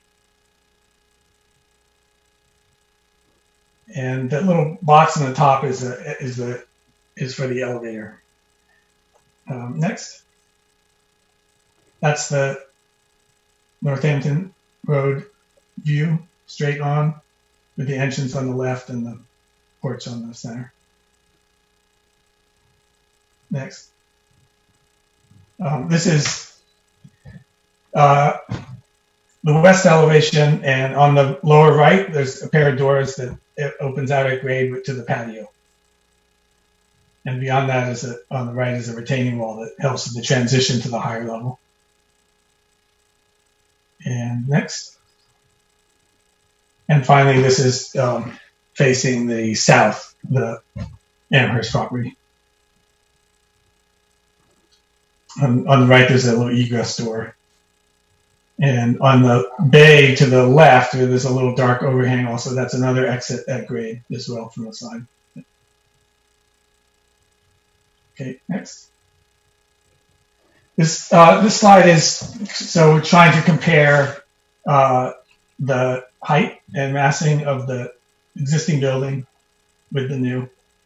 Um, the existing building has a walkout basement and a first floor and a second floor, similar to what we, what we are doing. The difference really is that a couple things. The second floor in their case is tucked under the roof, which we can't do. And then basically the floor to floor heights have to be significantly higher to accommodate um, mechanical systems and the, the ceilings in that in that house are quite low. They're more like seven feet, seven and a half feet by and large.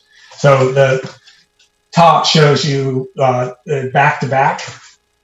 So that I mean that's the west elevation and that's the west elevation of the building, and then I had just a comparison with the front as, as well. Uh, next. So actually, Laura, can you scroll down a couple of slides to get to the section of the, I think it's just the, yeah, this. So um, just continuing on the building height, uh, the, so this, the image on the right shows that the, the has floor to floor heights, um, basic building section, and it shows the, the median um, building height as taken from the lowest level of the grade is uh, below the, the 40 foot. Um, the section on the left um, explains sort of how the how the whole structure of the building works with the grade. So that where the cursor is now, that is the that's the outside entrance, and then you come into the lobby. That's at grade to the parking lot. And once you're in the lobby, um, that's a mid, that's a sort of half level, and you either go down to the ground floor, which opens out at the lower level, um, or you can walk up to this to the first, what we're calling the first floor. That stairway right in the lobby is an open stairway. It connects the lobby and the two two other floors. Um, the third floor is accessed either by the elevator or or by stair towers at either end. So if we go back uh, to the plans, let's stop at the first. Go one more down, one more slide. Yeah, that one. So here you see again, you enter, you enter in that entryway, and there's the lobby, and there's an elevator that can take you either down or up, down to the ground floor or up two floors, and then there's an open stair that takes you either down to the ground floor or up to the first floor. If you were going, if you wanted to walk and you were going to the to the second floor, you would go, you could walk up those open stair, and then you would wind down the hallway either way to get into the egress stairs and go up. So you could go down and up that, or you could go down. And alternatively, you could enter from the path at the at the um, north at, at the street side, the north end, and, and come in and go right up those stairs if your unit is right there. So now let's go back down to the ground level. Sorry. Uh, so this is the ground floor. Um, you come down the you come down from the lobby downstairs, and there's a there's a sort of open hall. On the left is the common room, which opens out to the patio at grade. Um, the, there's a, a common uh, restroom for people to use, and there's a resident service coordinator, coordinator office is here as well. Um, and then there is the laundry, common laundry services, and um, uh, that's a electrical room there, utility room. And then there's also a stair next to the elevator. You go back up to the elevator. On the left of the elevator, there's a stair that runs down to a sub basement, and that sub basement is under the under the lobby, and that's going to be more mechanical space and an elevator pit. Um, and then the rest of the floor has uh, basic units. Um, there are a number of different types, which we'll look at quickly, but uh, uh, this floor does not have uh, the accessible units. The accessible units is upstairs. So if we go up one, we have in that corner above the common room, we have one of the accessible units. Um, and then we have uh, the property manager's office, which is over here. And that actually looks out um, over the lobby. So there's a window down into the lobby so they can you can see what's going on there. Um, and then similar units. And if you go upstairs, let's go upstairs again. Um, there's a there's another accessible unit stacked, and then uh, other units. So uh, maybe I can talk quickly about um, the construction. Uh, well, actually, talk about some of the safety features first. Um, I think we have a we have a slide for that. So um, we have the building is fully sprinklered. Uh, fire hydrant. There's hardwired smoke and CO detectors and there are multiple fire uh, extinguisher egress and extinguishers. There's two main stairs. Um, take you once you get into those stairs. It's a fire rated enclosure, and, and they both empty directly out into the exterior. Um, the construction of the building. Oh, the security. The building is locked with an intercom to each unit, and this is security camera coverage of the entries and egress and common spaces, and peepholes in the unit doors. So the doors are normally locked, um, and you will come to the entrance and buzz the unit to be let in. Um, the main entrance also has uh, automatic powered door opener for accessibility. I don't have, let's see. Um, in terms of construction, what's the next slide? Um, I'm gonna go back a little. Let's go. Let's go look at the units now. Sorry, I'm making you jump around. Um, there's a number of like every building we try to standardize things, and then what happens because of all different kinds of requirements? There's a lot of different solutions, but there's basically there's like three or four different unit types. Um, they're all basically the same in that they you come in the door, you have a kitchen, kitchenette, a little bit of storage. There's an area for a dining table, an area for sitting and a bed, and then a, and then a bathroom. Um, the big exception to that is it's the accessible units, which are just basically have much more space around those features. Um, they have a roll-in shower and room to turn, and more space access at the bed. Um, and those are a few more units. They're basically different just because they're found at different locations in, in the building. But they all have the same similar features.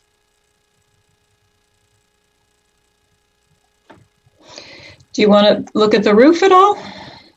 Yeah, I mean, the roof is, so in order to, in, in order to uh, bring out the Victorian massing and character, we have uh, a lot of dormers. So basically, there's there's a two the structure is mainly two intersecting gables, and then gable dormers everywhere. That breaks up the massing very nicely. Um, it makes it a little bit uh, difficult if we're since we're looking to put solar on it, but um, and the, and the construction is a little more difficult, although it's built out of uh, trusses. There's no occupied space in the attic, so it's just trusses and overlay framing. We talked about this. Talked about the ants. How about this one? So we have a. Our goal really is to insulate and bring a level of airtightness to the building that reduces our energy loss to the point that um, we can get a passive house certification and require very uh, low uh, energy expenditures to heat and cool the building. So we have a we'll have an envelope that is is has pays great, great attention to uh, air, reducing eliminating air infiltration and adding is, is uh, high levels of insulation. Um, because we're reducing the air infiltration to such an extent, we, we're spending a lot of time having uh, bringing in fresh air, and that's going to be done by um, ERVs, energy recovery ventilators, which will um, serve provide fresh air to each apartment and ventilate air from each apartment. And they they're energy efficient because they recover energy. The, as the as the air is exhausted, it transfers energy from the exhaust air into the incoming air. And those will be run um, all the time, and they will they will exhaust bathroom and kitchen air and provide fresh air into the living areas. Because we're reducing the energy costs, I mean the energy demand so much, we're going to have we can have a small and efficient um, heating system, which will be a, an air source heat pump. It will provide cooling and heating, and we will also have hot, uh, heat heat pump hot water heaters. So there's no going to be no um, uh, combustion appliances on, on site, all electric, no fossil fuels. The goal, I mentioned a little bit the problem with the roof, but the goal is to add some solar panels where we can um, to offset the, the uh, electric energy bill. Um, it's an efficient building. It's pretty compact. We have tried to limit um, exterior envelope as much as possible and still keep an, you know, an attractive uh, massing. So the building, the units are efficient. Um, it's in a walkable location, close proximity to services, shops, medical facilities, and bike trail. Um, and hopefully that reduces the number of tenants who own cars, which all contributes to its low carbon footprint. Um,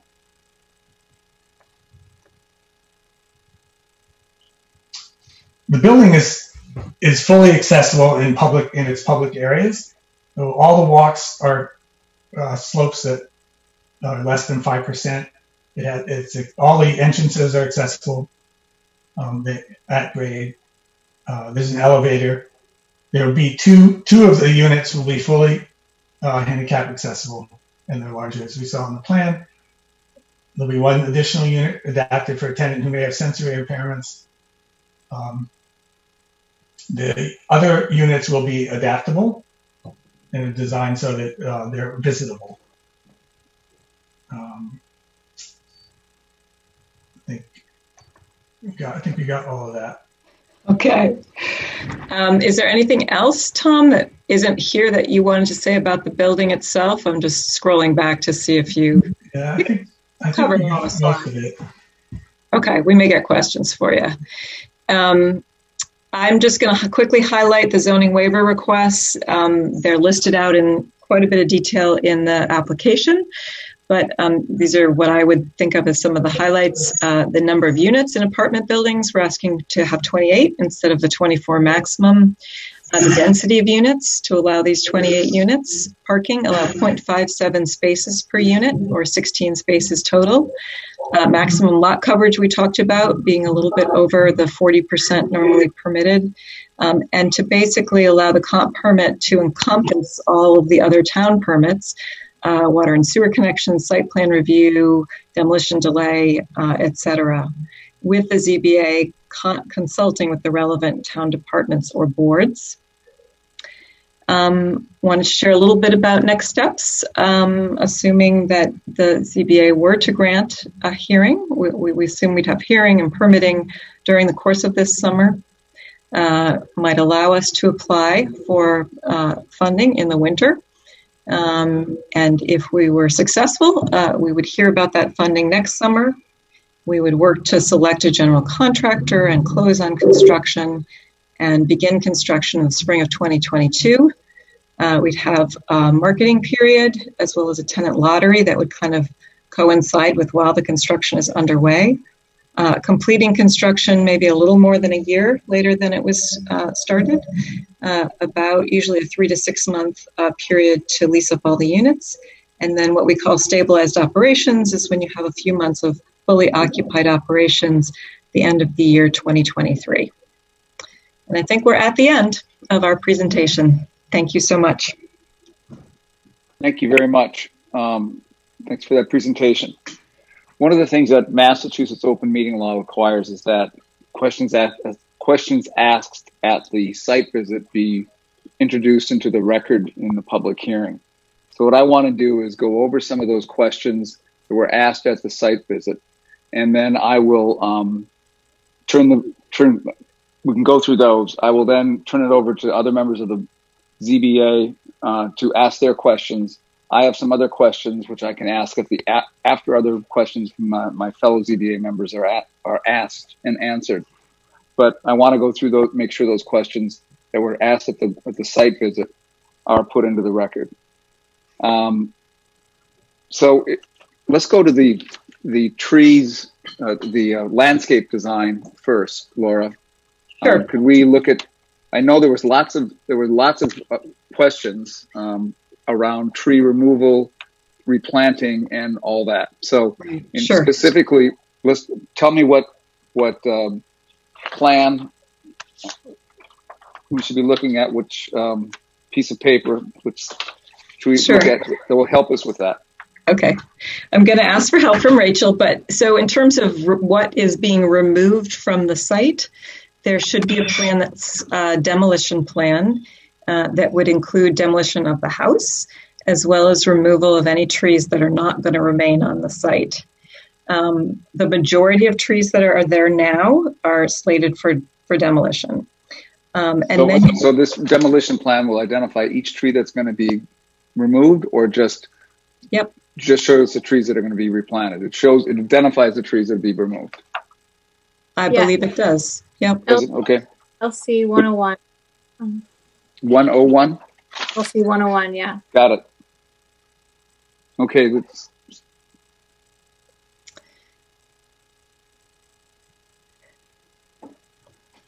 okay so practically so all the trees abutting the neighboring property are going to be removed correct At the Mhm. request. Laura, I I guess. Um, Yes. Rachel, I'm having a hard time hearing you, so I'm just probably breaking up. All I right. said at the request of the neighbor. yes. Um, we talked about the grass pavers uh, at the site. We understand that that's cement with spaces that grass can grow. Is that correct? That's correct. Correct. Um, another question was why um, you you alluded to this a second ago, um, Ms. Loeffler. You said that the trees would be removed at the request of the neighbor, uh, and there was a question asked at the at the site visit about whether there was any thought given to planting trees between the existing trees to try to provide a screen instead of taking down how many of those. Um, it's not listed here on 101, but it's there's a number of uh, spruce trees there. There must be 10 or 15 spruce trees that you're going to take down. Laura, do you want to answer this one? You've had conversations. Sure. Um, yeah, we have looked at a number of different options. One of them um, was retaining those trees and putting a fence on our side of the trees and then putting some plantings there. Um, it you can plant things under spruce trees. It, it, limits the type of variety I would think that you could plant because it's it's pretty heavily shaded there. Um, but it's certainly something we looked at. Um, we did get the request uh, from the abutter to remove those trees and to provide something new, which was uh, the eight foot cedar fence, as well as plantings that we would provide on our side of the lot, as well as potentially on their side of the lot if they would like some plantings on, on their land as well. And what's the nature of those? What species trees are you looking at on that level, uh, on along that um, property line? Sure. Height? So that Rachel went through that section, and we can provide this whole presentation to to the ZBA to be posted. I, I, suggest that's probably the simplest way. So she broke out the different planting areas and gave pictures and names of the different species that would be on there. Yep. So which plan um, identifies the species? The planting plan, Rachel. What is it? Well, it's more important. The height. I think the height is more important for this. The question that was asked at the at oh. the uh, site visit, the height. Uh, the the plants are also um, on LC one one one, um, and there there are plant there's a plant legend with sizes and quantities, uh, and the mm-hmm. symbol mm-hmm. um, the symbol correlates to the scientific name, um, and the trees that we've planted there are will grow to a range of heights. Um, but what comes at what comes from the nursery is installed at a smaller smaller height. So many of the evergreen trees come at eight foot heights, five to eight foot heights at install, but they will grow to 20 or 30 feet high. So at install, we'll have, they range from five to eight feet along yeah. that property line. Okay. Um, there was a placement, we talked about the placement of the fence going to the bike path and that seems to me you you described that in your presentation. So I think that issue was um, mentioned already in the meeting. Um, Do you mean the bike shed? The bike shed, yes. Excuse me, not the bike path. The bike shed, yeah. That'd be a long fence to the bike yeah. path. The bike shed, yes. Yeah. Um, did you look at alternatives to asphalt pavings? Was another question. Yeah. So we did talk about that at the site visit, whether we could use instead of asphalt um, porous pavement. Um, and we did consider that um, because of the high groundwater on the site. We did not think it was going to be a successful application of porous pavement because it has to be able to percolate down mm-hmm. and go somewhere. Um, but as you've seen, we do have about at least half of the kind of stabilized um, parking and driving areas are uh, the grass grasscrete instead of uh, bituminous pavement. But the long run of driveway would be a bituminous pavement. Yes. Okay. Um, you, one question was about the ADA um, compliant rumble strip at the end of the driveway along the sidewalk. Um, can, you didn't talk about that in the presentation. Uh, could you just describe that for us? Sure, those are those are standard um, to be provided when a sidewalk intersects a, a drive. It's a way someone who's visually impaired, who might be using a cane, can feel uh, and notice that they're about to um, cross traffic with a vehicle. Um, so those those come in different sizes. Uh, standard is like a two two foot by three foot pad that's cast in the concrete and it has a dome and it can be metal um, or it can also be uh, concrete concrete pavers, but we, it needs to be a contrasting color. So we have two of those provided um, on both sides of our drive. Um, what's the time? We were asked about the timing of the construction on Route Nine. Now I know it's it's a state project. You can't commit to the to the um, the timeline. But what do you know about the state's plans, and how would you sure. represent the timing? Um, well, the state has uh, just contacted us for an easement. Um, I believe they are at 95 or 100% uh, design development. Um, I think they're looking at construction over two seasons. I think it might be next summer and the summer after. Um, there's a lot going on in our economy, and it, it could shift. Um, but they've at least designed the full system, so it and and they're queued up in the funding stream to do the work. Um, my guess is is they would begin construction before we would. Um, and our, our hope is to co- just coordinate the plans so that if we need to tie into the water line in Northampton Road, which is our desire, um, they would stub that out across, you know, during the point of construction, even if we weren't under construction yet. So I don't know exactly who's going to finish first. Um, my guess is they will. Uh, but either way, we would do our best to coordinate our work with their work. Um, one of the questions was whether the existing building would be demolished. That, of course, is the case. We did ask, and that was that you represented that here in your presentation. The cost of the building itself and the per unit cost was Sure. a question that was asked as well. Sure. Um, so when we look at the total budget for the project and we break it down by the units, we're at about 265,000 per unit. Um, that includes all the common areas, the offices, the elevator, the cost of the land, everything kind of rolled into one big, what they call total development cost, divided by 28 is 265,000. I believe we're budgeting about $250 a square foot for construction. Um, so even though these units aren't large, um, they are expensive on a per square foot basis because they all have kitchens, they all have bathrooms, we have an elevator. So it's it's this type of construction. It's a little misleading to just look at it on a per unit cost. Um, but we think it's pretty competitive on a, on a square foot cost with other types of affordable housing cost in our region.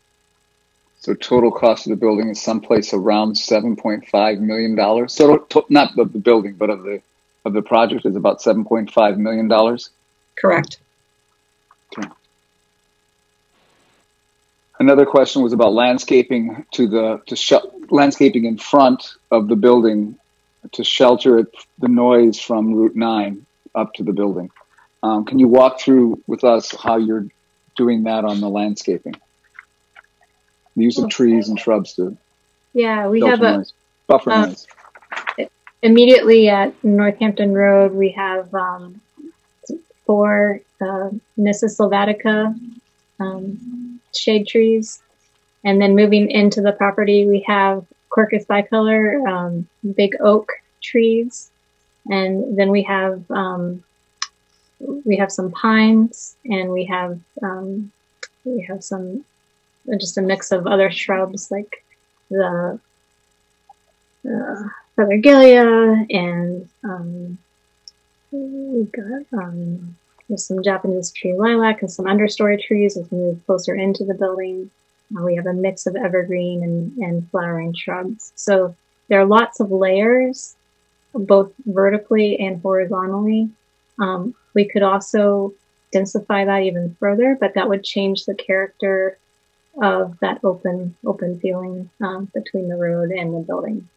hmm I would add, I would, oh, sorry. Mr. Langsdale? Uh, I think it would behoove us, while you're talking about these plantings, if we can get, rather than just saying we have an oak and we have some pines, uh, if we could understand what kind of pines, like the pine trees along the driveway that they want to take down are, I don't know, 50 or 60 feet high, but there are no branches for the first 25 or 30 feet. So they are give they give no uh, uh, they don't block anything. So if we could understand that with what they're going to replace all of these plantings they take out, what they're going to replace them with, their size, their height, how high they're going to grow, what kind of cover they're going to give, how full they are, uh, rather than just stating we have pines and oak and whatever else. Do you want me to try to answer that now, or is that I think that needs to be a, a further. I, I, Mr. Langsdale, I think you'd agree that since I think that needs to be a, a additional submission where we could go through because you could tell it to us now and it would be, I think it'd be more helpful to have a, um, a, a an additional drawing or an elevation in some way to represent that. Okay. But you understand the concern that voiced by Mr. Langsdale. Yeah, and it's something that informed how which which species we chose. We chose some little guys that stay low, that max out around eight feet, and we've paired them with the with the bigger guys that get 30, 40 feet high. So. Um, So is, is the main question, what will this landscaping look like once it's matured? Because it looks very different when it's matured than when you first plant it. So is that what we should be aiming to show the, the board? Yeah, I, I think also the question is uh, a couple of questions. Uh, yes, what is it going to look like when it's matured? What is it going to look like when it's planted? How long will it take to mature? Not there yet. And what will it look like? Next meeting. I'm sorry, what? I think somebody was meant, that was just inadvertent conversation. Go- Go ahead, Mr. Langsdale. All right. Um, and uh, um, okay, well, I lost my train of thought. Uh, But you were, so that's you were, that you wanted to see something for what it would look like for the first, in initial planting and what we could, what we'd expect to see when it is fully mature. Yeah. They're the two different representations, right? Okay. Is that clear, Ms. Loeffler? yes. Good.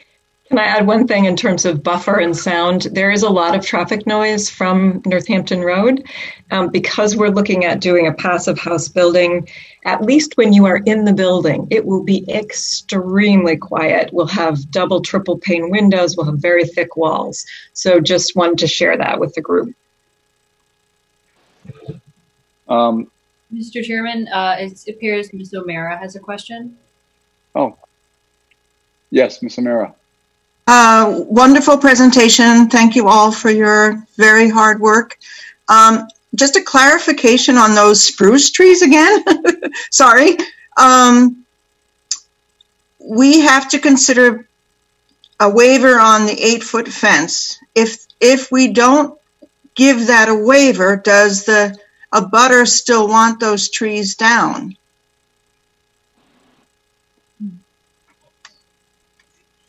I, I can't, I, I don't know the answer to that. I think we need to have a consideration for that. And if there can be a dialogue with the abutter, that if the zoning board doesn't agree to an eight-foot fence, do they still want those spruce trees down? That would be helpful for me. Thank you. Great job. Thank you. One of the other questions we had was the location of the smokers um, pavilion, and uh, you've shown that on the on the plan. Um, we did have a question of removal of the apple tree at the very back of the property. Is that tree going to go? It is shown going in the plans, but we looked at the grading and we can tweak the grades um, to help keep it. it. It'll reduce the amount of usable space near the building, but um, we can shift we can shift the grades for that.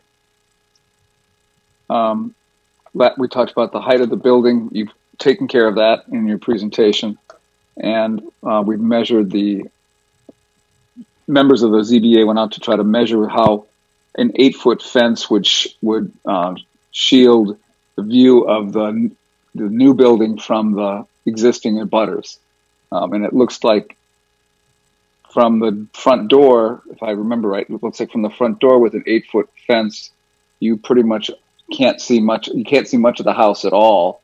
The abutting house is that. So if you could provide some kind of a um, a drawing that shows from a, a standing a perspective of a person standing on each side of the property how the eight foot fence shelters the um, or shields the the existing house from the new proposed residence, that would be helpful. So you, is the main concern the neighbors look, what the neighbors are looking at? Or is it the main concern what our new tenants will be looking at? Well, I, I, I think it's both, but it's, Okay. it's more that I think it's both. Um, I'm, I can imagine that the existing, that the the abutters have that question, and it may come up with your your future tenants as well. But I think both. And I think that was all the all the questions that we were um, that were asked at the the site visit that we're not um, we didn't specifically deal with yet. So I, what I'd like to do is turn this over to other people on the other board members to ask questions. And I'd like to start with uh, Mr. Langsdale, if you would, if you have a, questions at this time. Uh, yeah, I have a few. Um, one of the things that uh, is part of your presentation is uh, concerns the walking distance to town and to the shops um, along uh, Northampton Road.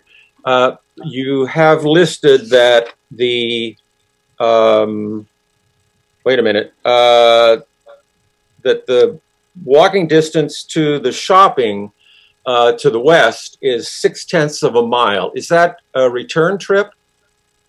It's one way. One way. Yep. So it's over a mile down and back at Yep. least.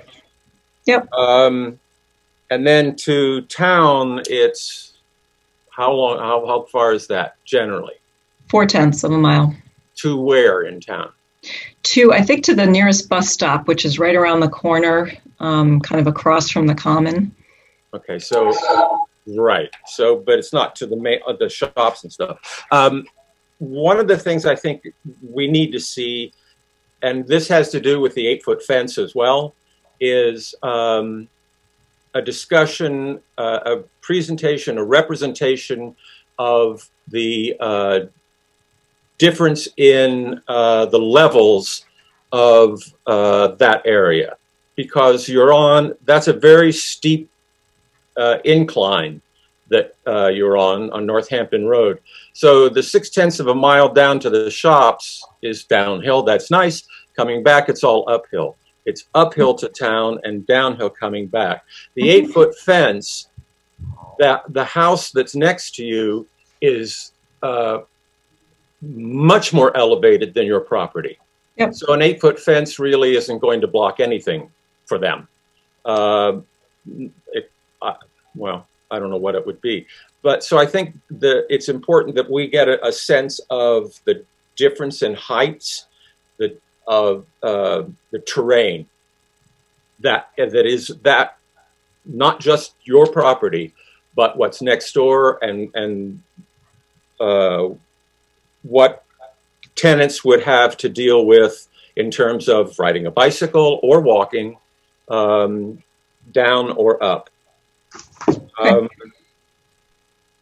you also, at one point in your uh, presentation, uh, showed that the, uh, the the people, the not the property management, but the other folks in the other office who are there to uh, assist the uh, the people living there. You, Yeah.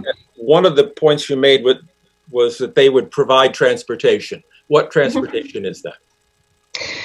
Um, I think we would look for them to provide one on one transportation to a limited extent for tenants. I think more of their job would be coordinating rides. So there's um, accessible van service in town. There, you know, there could be te- there will be tenants who have cars, so there can be rides and trips that are coordinated with tenants.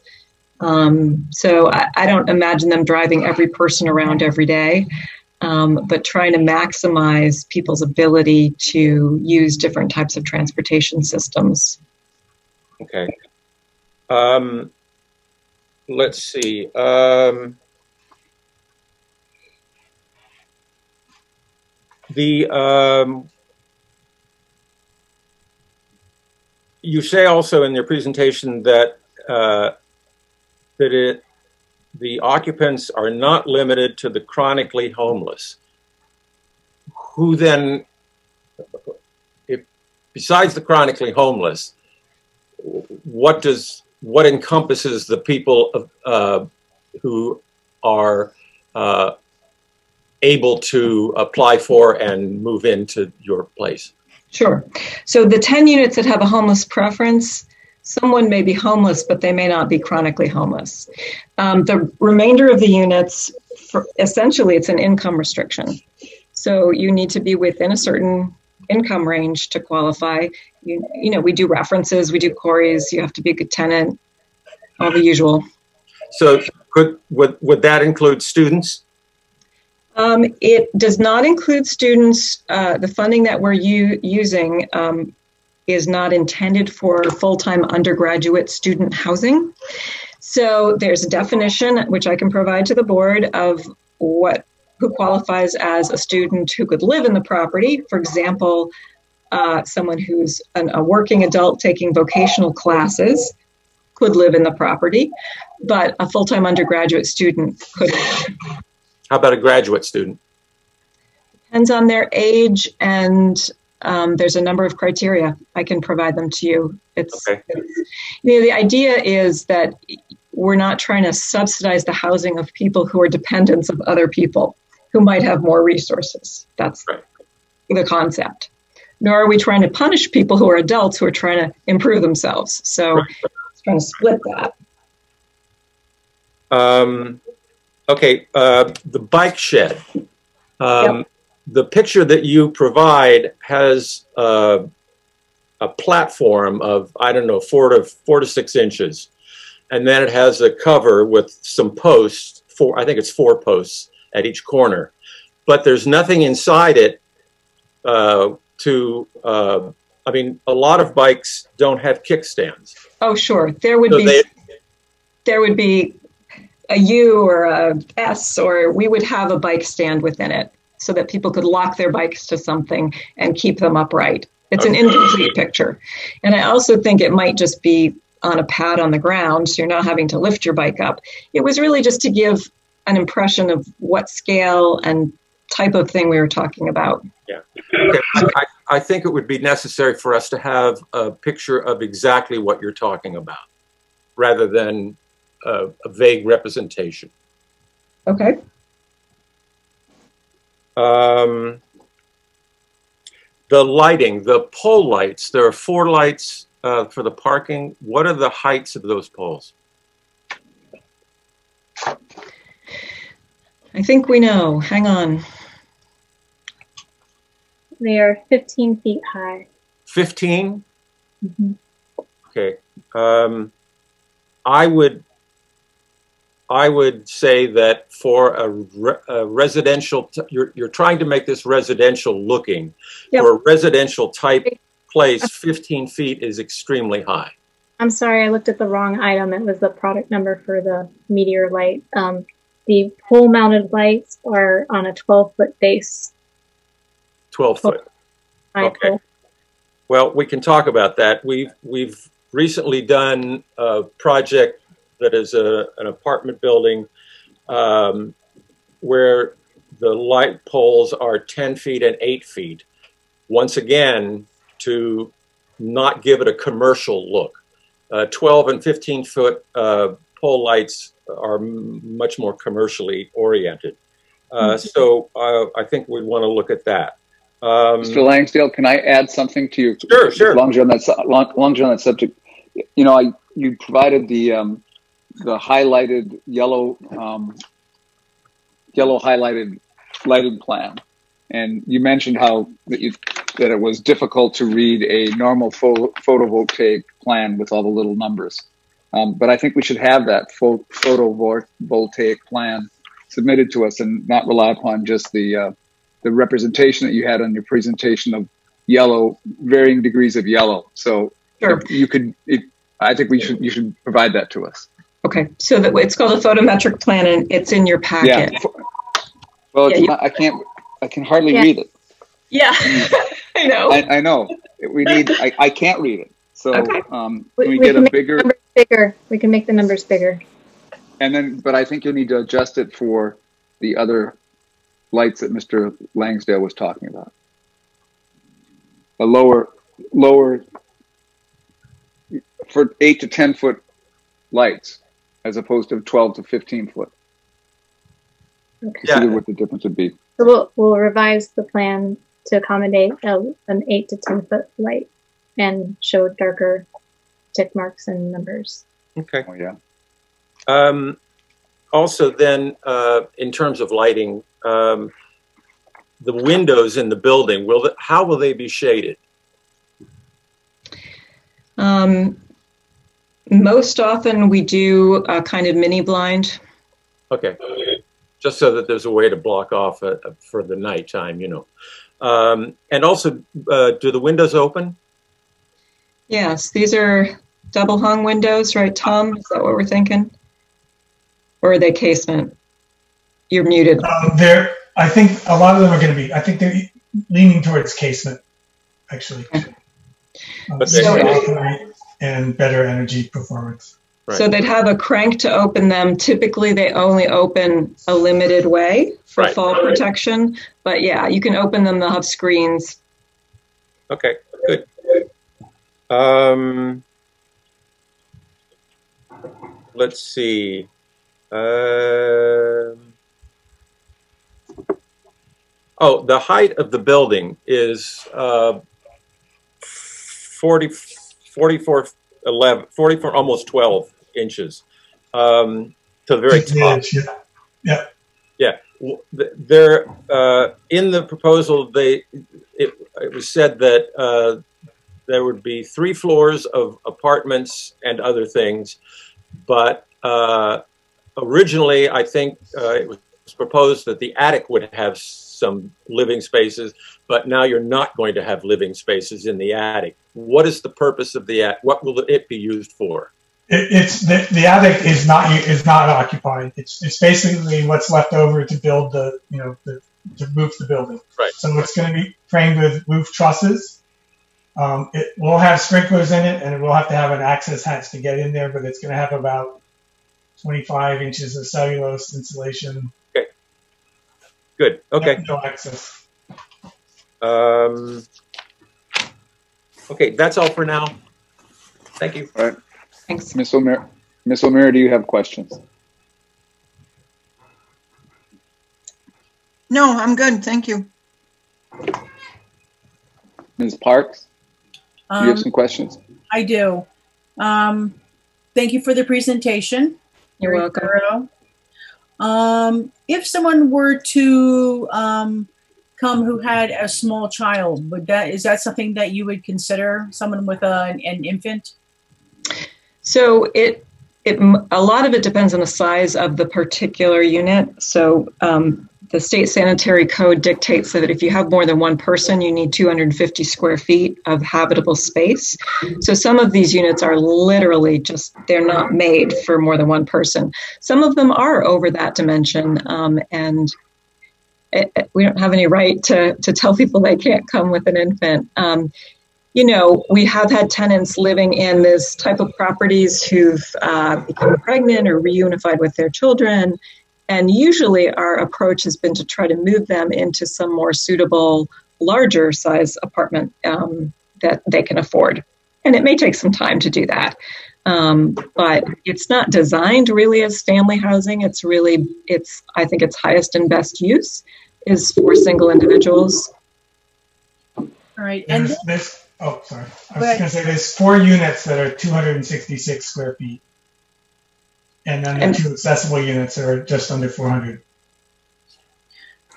And then you were talking about having a property manager there for about 30 out 20 to 30 hours a week and then someone who would um, uh, coordinate services is any would anyone be there on the weekends Um, not necessarily, although the resident services coordinator position, you know, could have weekend hours if there was demand for that. I think we'd have to kind of see where the ebb and flow of resident demand was. Um, we could, I mean, that will be our contracted employee or subcontracted employee, so we can set up whatever schedule seems to make sense uh, for that position.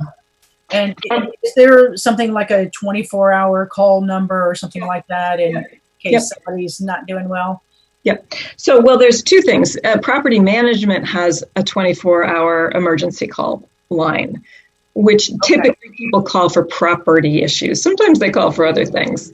Um, and then we don't have a 24 hour person necessarily for uh, a mental health kind of crisis, although there are community lines for that type of crisis. Okay.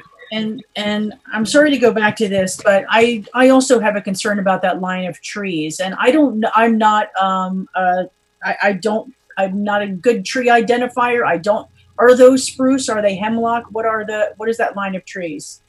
Does anyone know? Uh, between the two properties? I do know. I think it's a type of spruce. I did talk with the tree warden, and I can I can find. He told me the name of them, but I don't remember. Do you know, Rachel, what those are? I, I want to make sure I get it right, so I want to double check.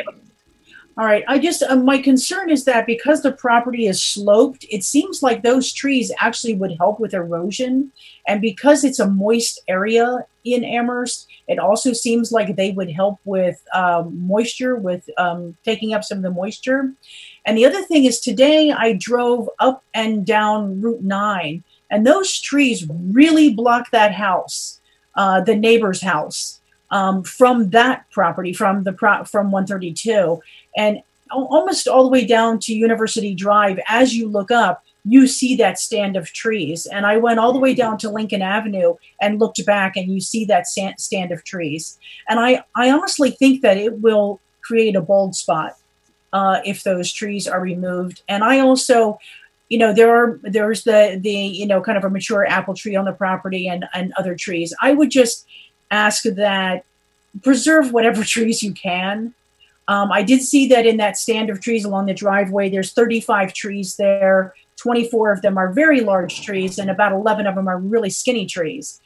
And so, um, you know, I I do think I, I wish that we could uh, keep those trees. So um, I I don't I don't know if it's any deter- deciding factor for me, but um, you know I just wish that uh, take another look at, at the trees and see if we can preserve those. That's it for me. Thank you. All right, Mr. Hart. Um, Mr. Maxfield, do you have questions? Yeah, I just have one that I wanted to uh, ask. So if we're asking you, uh, you folks again, to reach out to that immediate abutter to um, to the east there uh, about that trees and alternatives to cutting them down, what their thoughts on that would be. Um, also, like to hear uh, from them as well what their feelings would be on the size of those lights that um, are going to be facing the parking lot. Um, what they thought is on a, a, 10 versus an 8 foot is as well as I think they'll be um, one of the residents seeing those lights the most. So I'd like to know if you can get what their thoughts on that are. Uh, I'd like to hear that. Okay, thank you.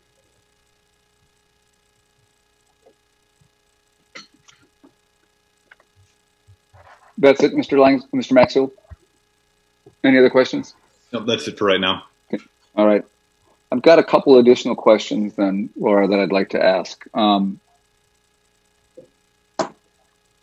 on supportive services, uh, has the extent of the supportive services that you have that you intend to su supply or or or to um, connect tenants with, either that you supply or you connect tenants with, has that been described? Other than the, the slide we saw tonight, is that described in some place in this application? Yeah. So it's referenced in your application in the management plan. It references. Yeah, I saw that. Yeah. Yeah. So on the town's, oh, it's been posted on the town's website since May. So if you go into the PEL, it was part of the PEL application. So if you go into that section, you'll see supportive services plan. And the whole plan, the whole draft plan is posted, and you're welcome to take a look at it. Okay, Ms. Yeah, all right. So, one, first off, what's PEL? so, the project eligibility letter was the letter that came from the state that allows us to apply to you for the comprehensive permit. Okay. And then that supportive services plan, will you provide, can you, pro, can we get that, the staff, can we get that distributed to the members? So, Maureen, can you get that from the PEL so and distribute? So I will submit that to the board. Yeah, so we can have that. So we don't have to go looking for it. I think that's an important part of the mm-hmm. uh, of the application. Um, so I, I, know that the town. Uh, this is a question about the finances. I'm just not clear. The town has provided 500,000 of um, Community Preservation Act money, and there was yep. some earlier earlier money than that as Yeah. well. So it is around, is it six hundred or seven hundred thousand dollars that the town has provided? 750. Seven fifty. And is that used for planning and preparation? So if this So- doesn't, Sorry, I didn't mean to interrupt. It's both. So the first 50 is spent and gone. It was really to identify a site and do very early feasibility analysis. The second 200, we've only used a little bit of. It's for design and planning. The last 500 is for construction. So if we don't succeed in ob- obtaining all of our financing and permitting and going under construction, the town never spends that last tranche of CPA money. got it. Um, if we keep on the um, financing issue, there was a, a reference to a state fund for financing um, at some point where you, when on the timeline, you describe how you have to get uh, approval from the state for, for financing. Can you describe Correct. what that would be? Sure. Um, most affordable housing in Massachusetts at some point um, goes to the state. They're the main distributor of both uh, state bond money and federal funds. They have an application round. It's called a one stop. Um, the idea is you go in and you can ask for multiple state and federal sources in one gigantic application, and it typically happens only once a year. Um, it's usually sometime in the winter that they'll announce that round. Um, and if we are ready, we will go in and apply for those funds. And we'd be pulling from probably six different sources within um, what the state has able is able to allocate. Uh, the largest source is called the Low Income Housing Tax Credit. It's actually not public money at all. Well, it kind of is. It's tax credits. It's equity that comes from investors in exchange for tax credits at the federal level. Um, so that's the single largest source of financing that we would be seeking. And your hope is to get seven million dollars from that fund, or for the, and So- to add to the seven hundred and some Yeah. you now have. Yeah. from those stu- Okay. So in the, I- I will just tell you in the project eligibility letter, there are budgets also um, that identify all the different sources. Um, we have committed a bunch of local money, which is great. It makes us much more competitive when we go to the state. Um, they would look very, very favorably on a project like this that is for a low income, vulnerable population uh, in a nice community to live in. So we don't doubt that they would support it. Um, it's really just having all the having all our ducks in a row so that we have a clear path, and then we can go and seek funds from them. And the 265,000 per unit is extremely low relative to what the per unit cost is in the state. They're they're not seeing much below 400,000 these days. And they're trying not to go above 500,000. So most projects are coming in between 4 and 500,000 per unit for affordable housing development in Massachusetts. And there's of course, it's, it's incredibly expensive to do these very small units. Uh, It because is you have expensive. you Yeah. have to use a bathroom. You have a bathroom and a kitchenette for 250 square feet, where it's on Right. one bedroom, Right. you may just have one bathroom for 600 square feet, right? Right. Yep. And those are the cost intensive features. Those are cost intensive. Using the state and federal programs are cost intensive, to be honest, in terms of our attorneys' fees and other kinds of design costs. So, um, it Massachusetts is a it's a heavily regulated state, and it's it's a housing it's a state where housing and construction is expensive. Yeah. Um, is the the role of the residential services coordinator described fully in the supportive services um, piece that's connected that with your Yeah. PEL letter? Is- Yes. So if I get that, I will have a description of the supportive services resident supportive the resident services coordinator's job. Is that correct? I, I believe it's fully described. So there's a description of the duties. There's actually a job description in there. So if you look at that and you still have questions, please um, let me know. We may that's we may talk about that in one of the other when we get the information we'll review it and we may have questions about it in Sure. future hearings Sure. um, let's see will there be supportive services provided at the site or just will they be will you just meet match client tenants and with supportive services offsite Both. Both. So okay. um, the plan it, the plan is really about linkage. So some things like you know seeing a dentist, you're going to probably need to go to.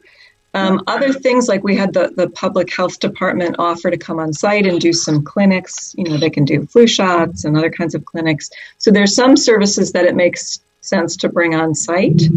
Um, I would say the majority of services people are going to need to probably go somewhere to. And then social workers and therapists, it's a little bit of both. Some, especially for homeless folks, often the, the providers end up coming to people because they have no Mhm. transportation and it's just easier that way. So it will be both. Yep. Um, one thing I didn't see on the drawing is, um, and maybe I missed it, is the distance between the new structure and the closest wall of the existing house, um, the existing abutters. I'm, I'm not sure that I saw how, how far away you are from the new building will be from the existing house. And can you- Okay. you provide that to us? The new building from our neighbor Yep, at from the- 126. Right, through the Okay. trees up to the, the, Okay. the house to the to the, the south, I guess. We can figure that out. Okay. Uh, and then, then you mentioned this uh, in your presentation. You you provided a snow plan. I always am happy when people think about what to do with snow. Um, what, but what I saw is that you're going to push it up around the tree. It looks like you're going to push push a lot of it up around the trees. And I'm not the expert, so I think Ms. Loeffler, you probably are the expert. If you have uh, chemicals, salt, um, ice melt, other kinds of things, is that going to um, is, is pushing the, the snow up around the trees the appropriate place to put it, or will that lead to damage of the of those trees and plants? And should we find another place to put that? Some trees have uh, different salt tolerance than others. Um, I think what we were thinking is that the um, the grass paved area probably wouldn't be actually used for parking, and that might be a place that we would be putting the majority of the snow. Um, and then there were some other areas on the periphery for that. Um, I think we can probably provide more detail. and Laura and I should talk about what what chemicals, if any, are being used for for de-icing, um, and come back to you with a full description of that. That would be great. Thank you. Um,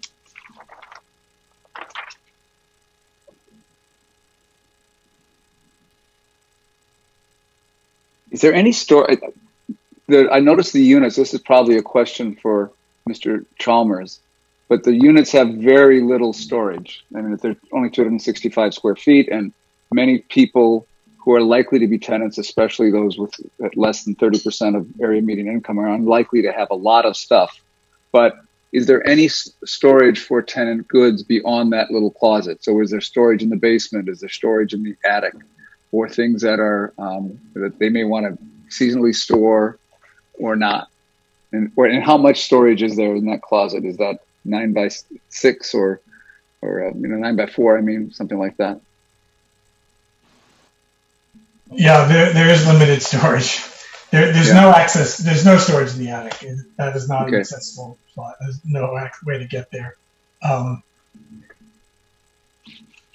there's And probably about um, well, it varies per unit. Some have a little more storage, but um, you know, it's probably about three three feet, three linear feet by full ceiling height of storage in the that might not be straight kitchen related in each unit. Um, plus the closets. So Oh, plus we don't closet. have we don't have storage. We don't have area in, the- in the basement for storage. So storage storage is a closet. It's c- cupboards in the kitchen, and often we'll do some kind of cabinet or little linen closet associated with the bathroom. Um, but we don't allow tenants to put stored uh, items in common areas, based on our experience that it Yeah. it, it's, it piles up and it gets abandoned. You have to be you have to be thrifty. Um, and then, of course, we have bike storage outside, and that's the only kind of outside storage um, that we have. Is there room for a um, for a, a dresser or of some in the? There is. So Yeah, so we we have, have So you can see furniture layouts that Tom has provided. He actually used what size beds? Full size beds, Tom? Uh, double, I think. Double beds. So if you went with a twin bed, it gives you a little more flexibility. I've seen people actually do loft beds uh, in some of these units, so they're sleeping up above and they might have a desk or dresser below. People get pretty creative with it. And where is what? What's the um, sheet for that? Is it here? So the in detail- Our, in, our, in our detail. So there's a couple of unit details. Actually, they're full. I think most of them are full. Actually, with the the access. If you look at um, in our presentation, it's A eight point ten. But we don't have that in our in our Oh, okay. your submission. Sorry. So um, But or you can bring it up. If you can bring it up and share the screen, that would be helpful. I, So you you have it in your packet. It's A eight point one zero and A eight point two zero. They're kind of blow ups of I different. also. I think I. Do you see that? Yep, I see that. That's helpful. Yeah. Okay. So um, So that closet, these are hard numbers to read. That on one dash oh one, that closet up above is how many feet wide? Six feet wide? yeah, it's a little over six feet wide. Okay. Um,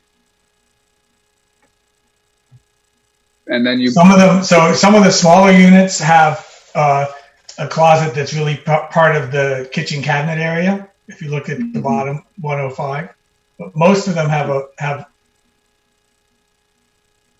It varies. It's sometimes it's built in as almost kitchen cabinet type closets, and sometimes it's actually framed closet. All right. So I can see the challenge that you're, you're going to have trying to uh, keep people from storing a lot of things. You, you, you try to minimize the amount of stuff that they're going to be bringing in, and that could be a challenge, but that's something you've taken on.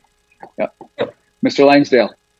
Yeah, uh, uh, on that, um, I have a question. I guess, first of all, the question is dealing with the use of the use. The use of this is housing for people of different uh, income strata. Um, of the 28 units, you have five that have a closet. The rest of them all have kitchen cabinets and maybe a vanity in the bathroom, but there's nowhere to hang anything. Um, what what is your expectation for the people who move in there? Is this just a way station? And how long would they be staying there? So I'm looking at unit 105, which has a double closet next to the refrigerator. That would be a full closet. That's not a closet. Those are cabinets. Yeah, it would be a, but it, it, but it would be a cabinet closet. I mean, it's basically to save. So uh, you, so you can hang coats and things in. There. Yeah, it, it'll be fitted out for hanging. So it'll be it, it'll be basically a closet, but built out of cabinet material. And it will have a closet pole in it and a shelf. So what then for the kitchen? What cabinetry is the, is there for the kitchen? There's uh, base cabinets. There's overhead cabinets.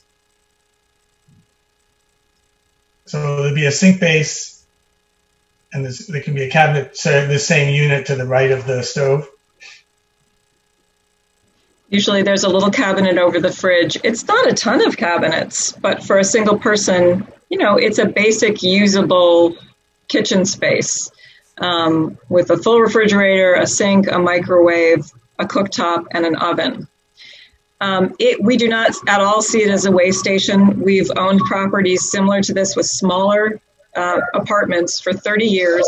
We've had tenants stay for 20 years in those tiny units. So for some people, this is a great place to live. Um, and in cities, we're seeing a lot of micro units like this that are, again, smaller than this, that are super popular because housing has become so expensive. Um, so no, I would see some people are coming here because, and it's a stepping stone in a, in a housing ladder, and they're starting kind of out of a shelter into this. Um, and then maybe they move on to a one bedroom apartment if they have a good job. Um, for other people, they're living on a, a limited fixed income, and this is a great option for them because they don't have to share a kitchen and bathroom with someone. And a lot of adults don't want to be living in shared situations like they did when they were students.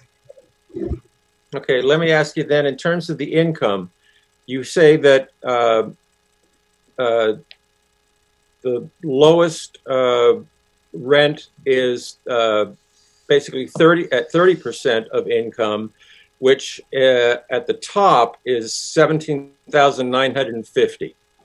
And that, that rental then is 737 a month.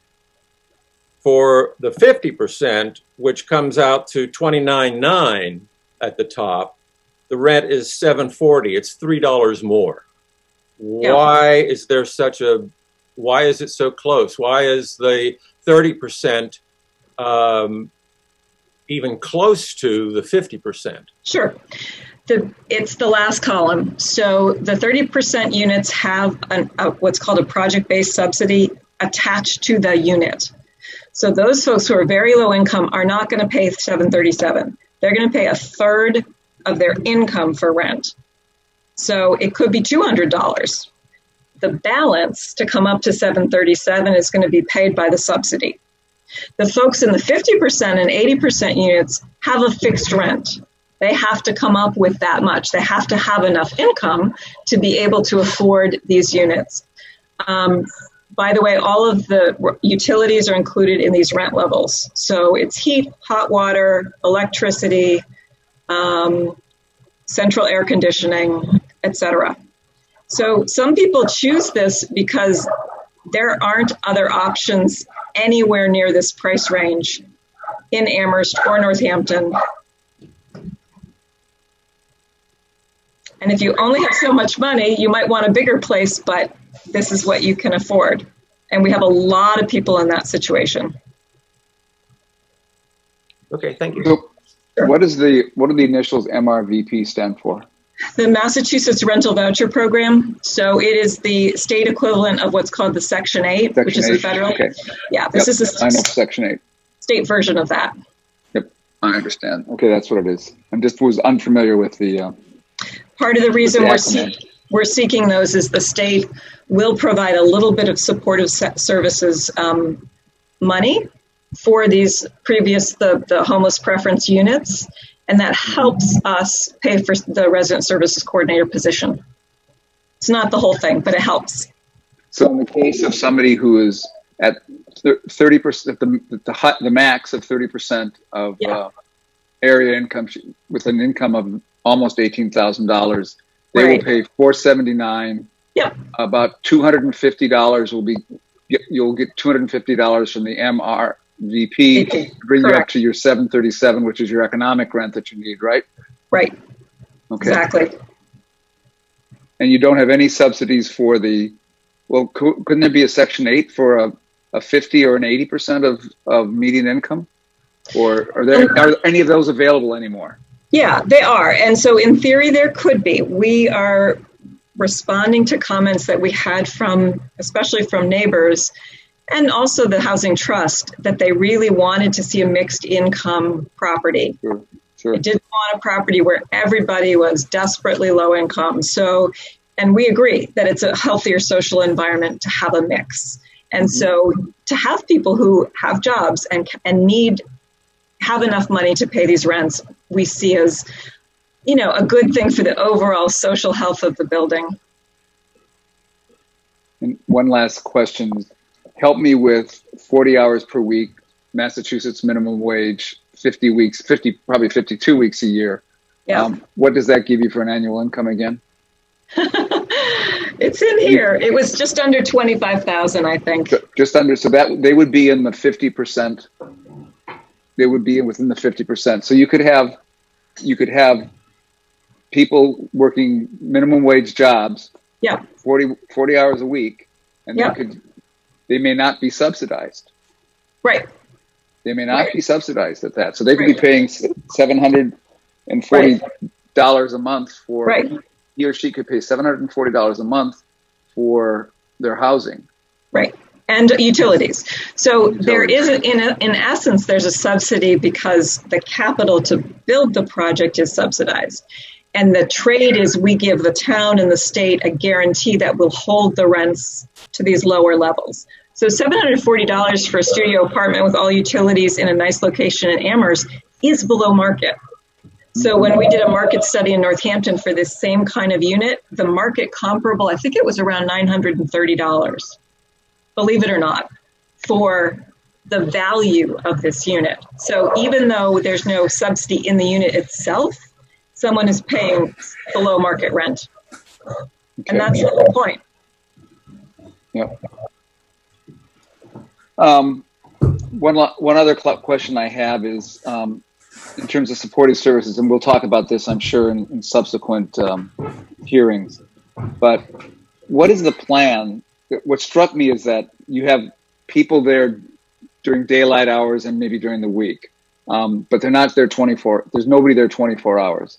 Right. And so what is, and you don't have, and you have a management office where they can call to your management team, and that normally they deal with, you know, a broken water pipe. But what if you, what if there is a mental health crisis during right. the middle of the night? What if right. there is something other than what you know, calling the police or calling someplace, calling some service themselves, what do you provide or what do you anticipate will be the role of your company or the or your staff to help out in that situation? Yeah.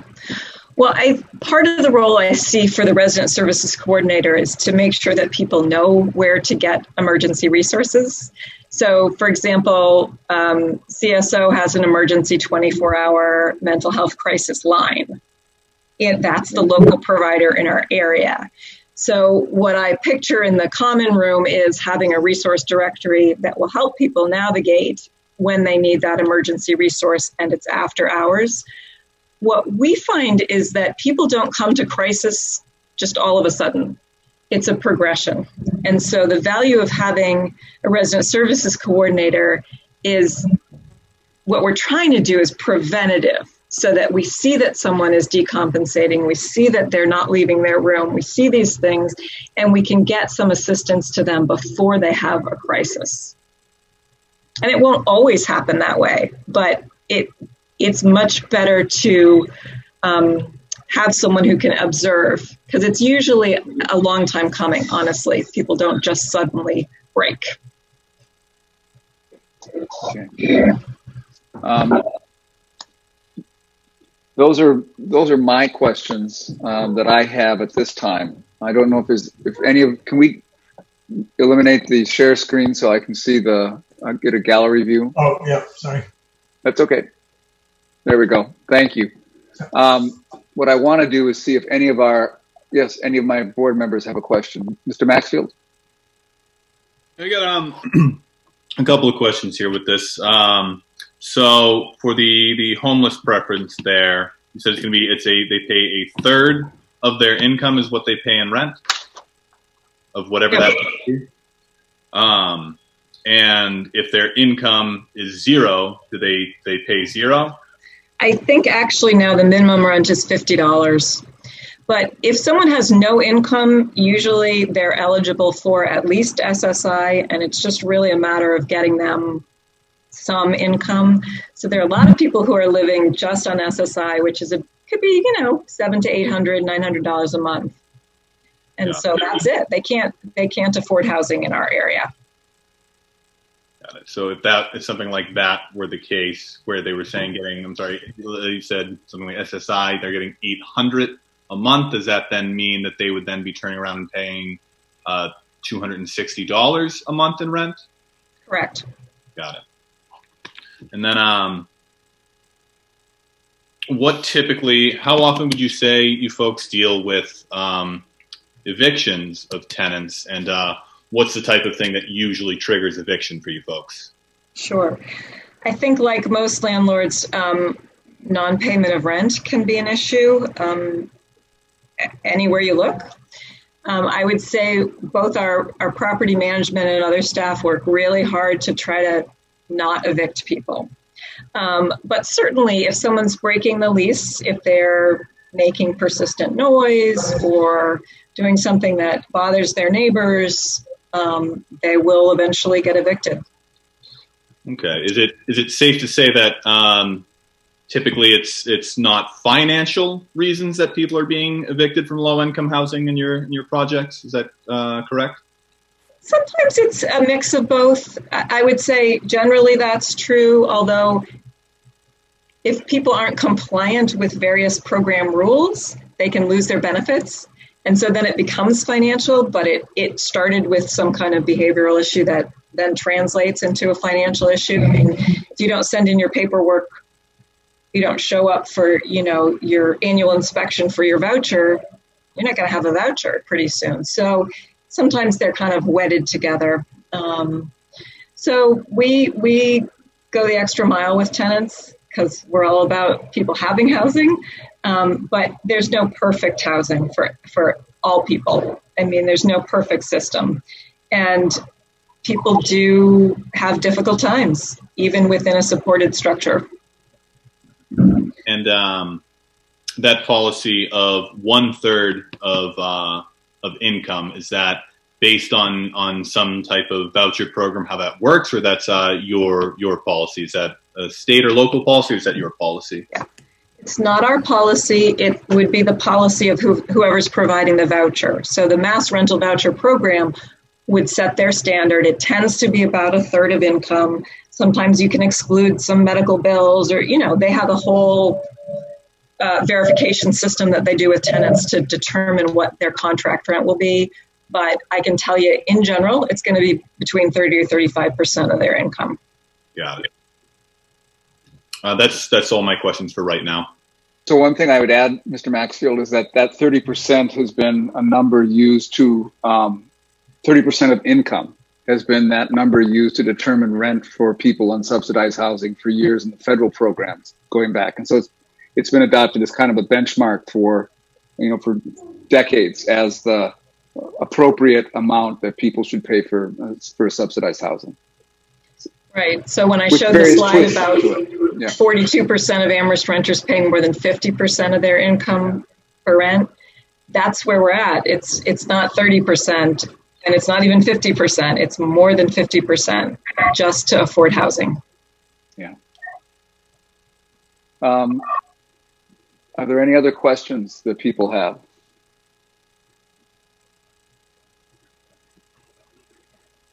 Well, I noticed that in there were several questions that we there were lots of questions that we had, and I think we're all taking notes on requests for additional information um, and requests for you know further work on your part, whether it's the, the photometric plan or a better, a, a more complete um, uh, landscape feeling for what what the what it's going to look like um, yeah. once the trees are removed. Some ideas about the um, the height of the trees at when those trees are planted. What it would be look, looking like at maturity. You know, 15 years from on, or whatever maturity would be in in an architect's world.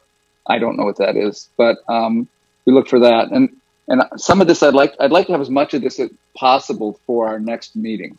Um, as well as some kind of a parking management plan for the next for our next meeting. Um, whether you have, are you going to use um, stickers? Or do you have? How are you going to? How are you going to make sure that the parking, the cars that are parked there, to the extent there are cars parked there, belong to the to the um, right. tenants? Yep. So I'd like to I'd like to have as much of this available by by the second, July second. I know that's quick, but we're yeah. trying to.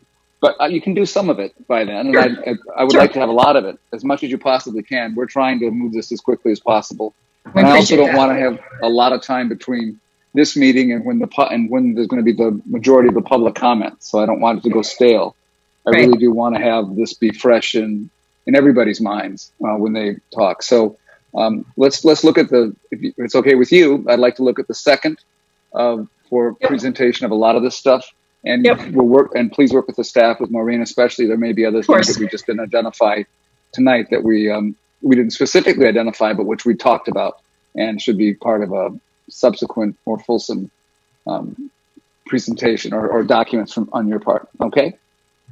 Yes, would it be helpful for the board? We have a property that's similar that's just finishing construction now in Northampton. And I could provide photos of some of those units, including the kitchen area. It might help you visualize what what's in the kitchen, what it would look like, things like that. You, you've read my mind. I was, you know, you read my mind. I, I one of the things I was going to ask about is if you've managed similar properties with the similar income groups, and if there was any way you could show us some of the some pictures from some of that. So yeah. that would be very very helpful, and also Yes. your your kind of your history with very low income, very Yep. low income people, and and how you've managed that property. I, I think we'd like to hear more about that um, in Yep. subsequent meetings. Okay. All right. Um, we've got, we're almost at nine o'clock. Um, I don't think it, in my determination, it doesn't make sense to begin the prob, the public comment with just eight minutes where we just get one comment. So, um, I think we'll hold off public comments until next week, uh, when we are, when we have the, the next meeting. Um, let's see, what else do we have to do?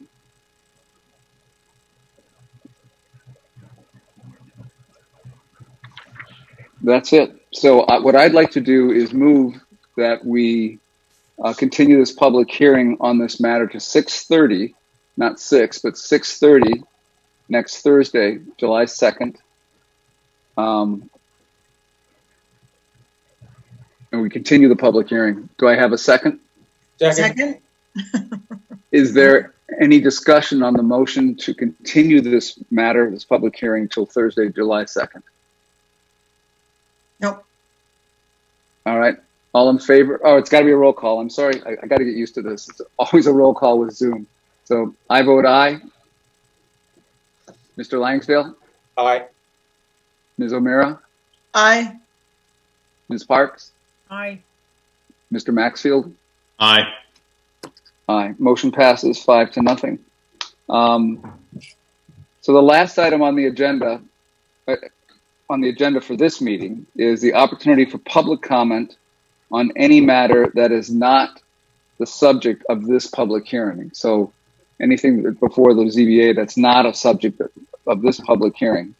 And we, we always make that, uh, this public comment available at our meetings. So, um, Maureen, could you help me see if there's anybody in the attendees that wish to speak on something that's not about this particular application? Yes, so if anyone from the public has any comments about items that are, as, as the chairman said, uh, items that have not been discussed tonight, you would have to click on the button to raise your hand to indicate that you have something to say.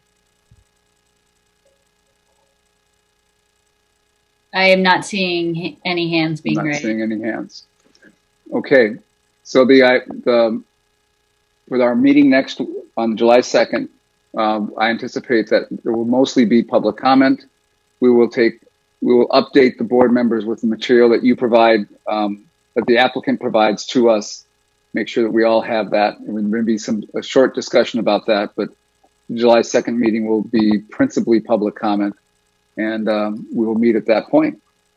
So with that, um, unless there's any further discussion, I move that we had, we've continued the, the hearing, so I move that we adjourn this meeting um, for tonight and that we meet again in um, next Thursday. Do I have a second? All right. All, um, I agree. I, I vote aye. I really want to do these voice votes. It's so hard. Mr. Langsdale, how do you vote? Miss O'Meara, how do you vote? Aye. Ms. Parks, how do you vote? Aye. Mr. Maxfield, how do you vote? Aye. Aye. Uh, the motion passes five to nothing. We're done. Thank you, everybody, for all your work. Thank you to the applicants for your presentation. Thank you for your Thank you to the public for, for, for, uh, Great questions. for Thank you. participating. Thanks, Thank you everyone. all. Talk to you next week.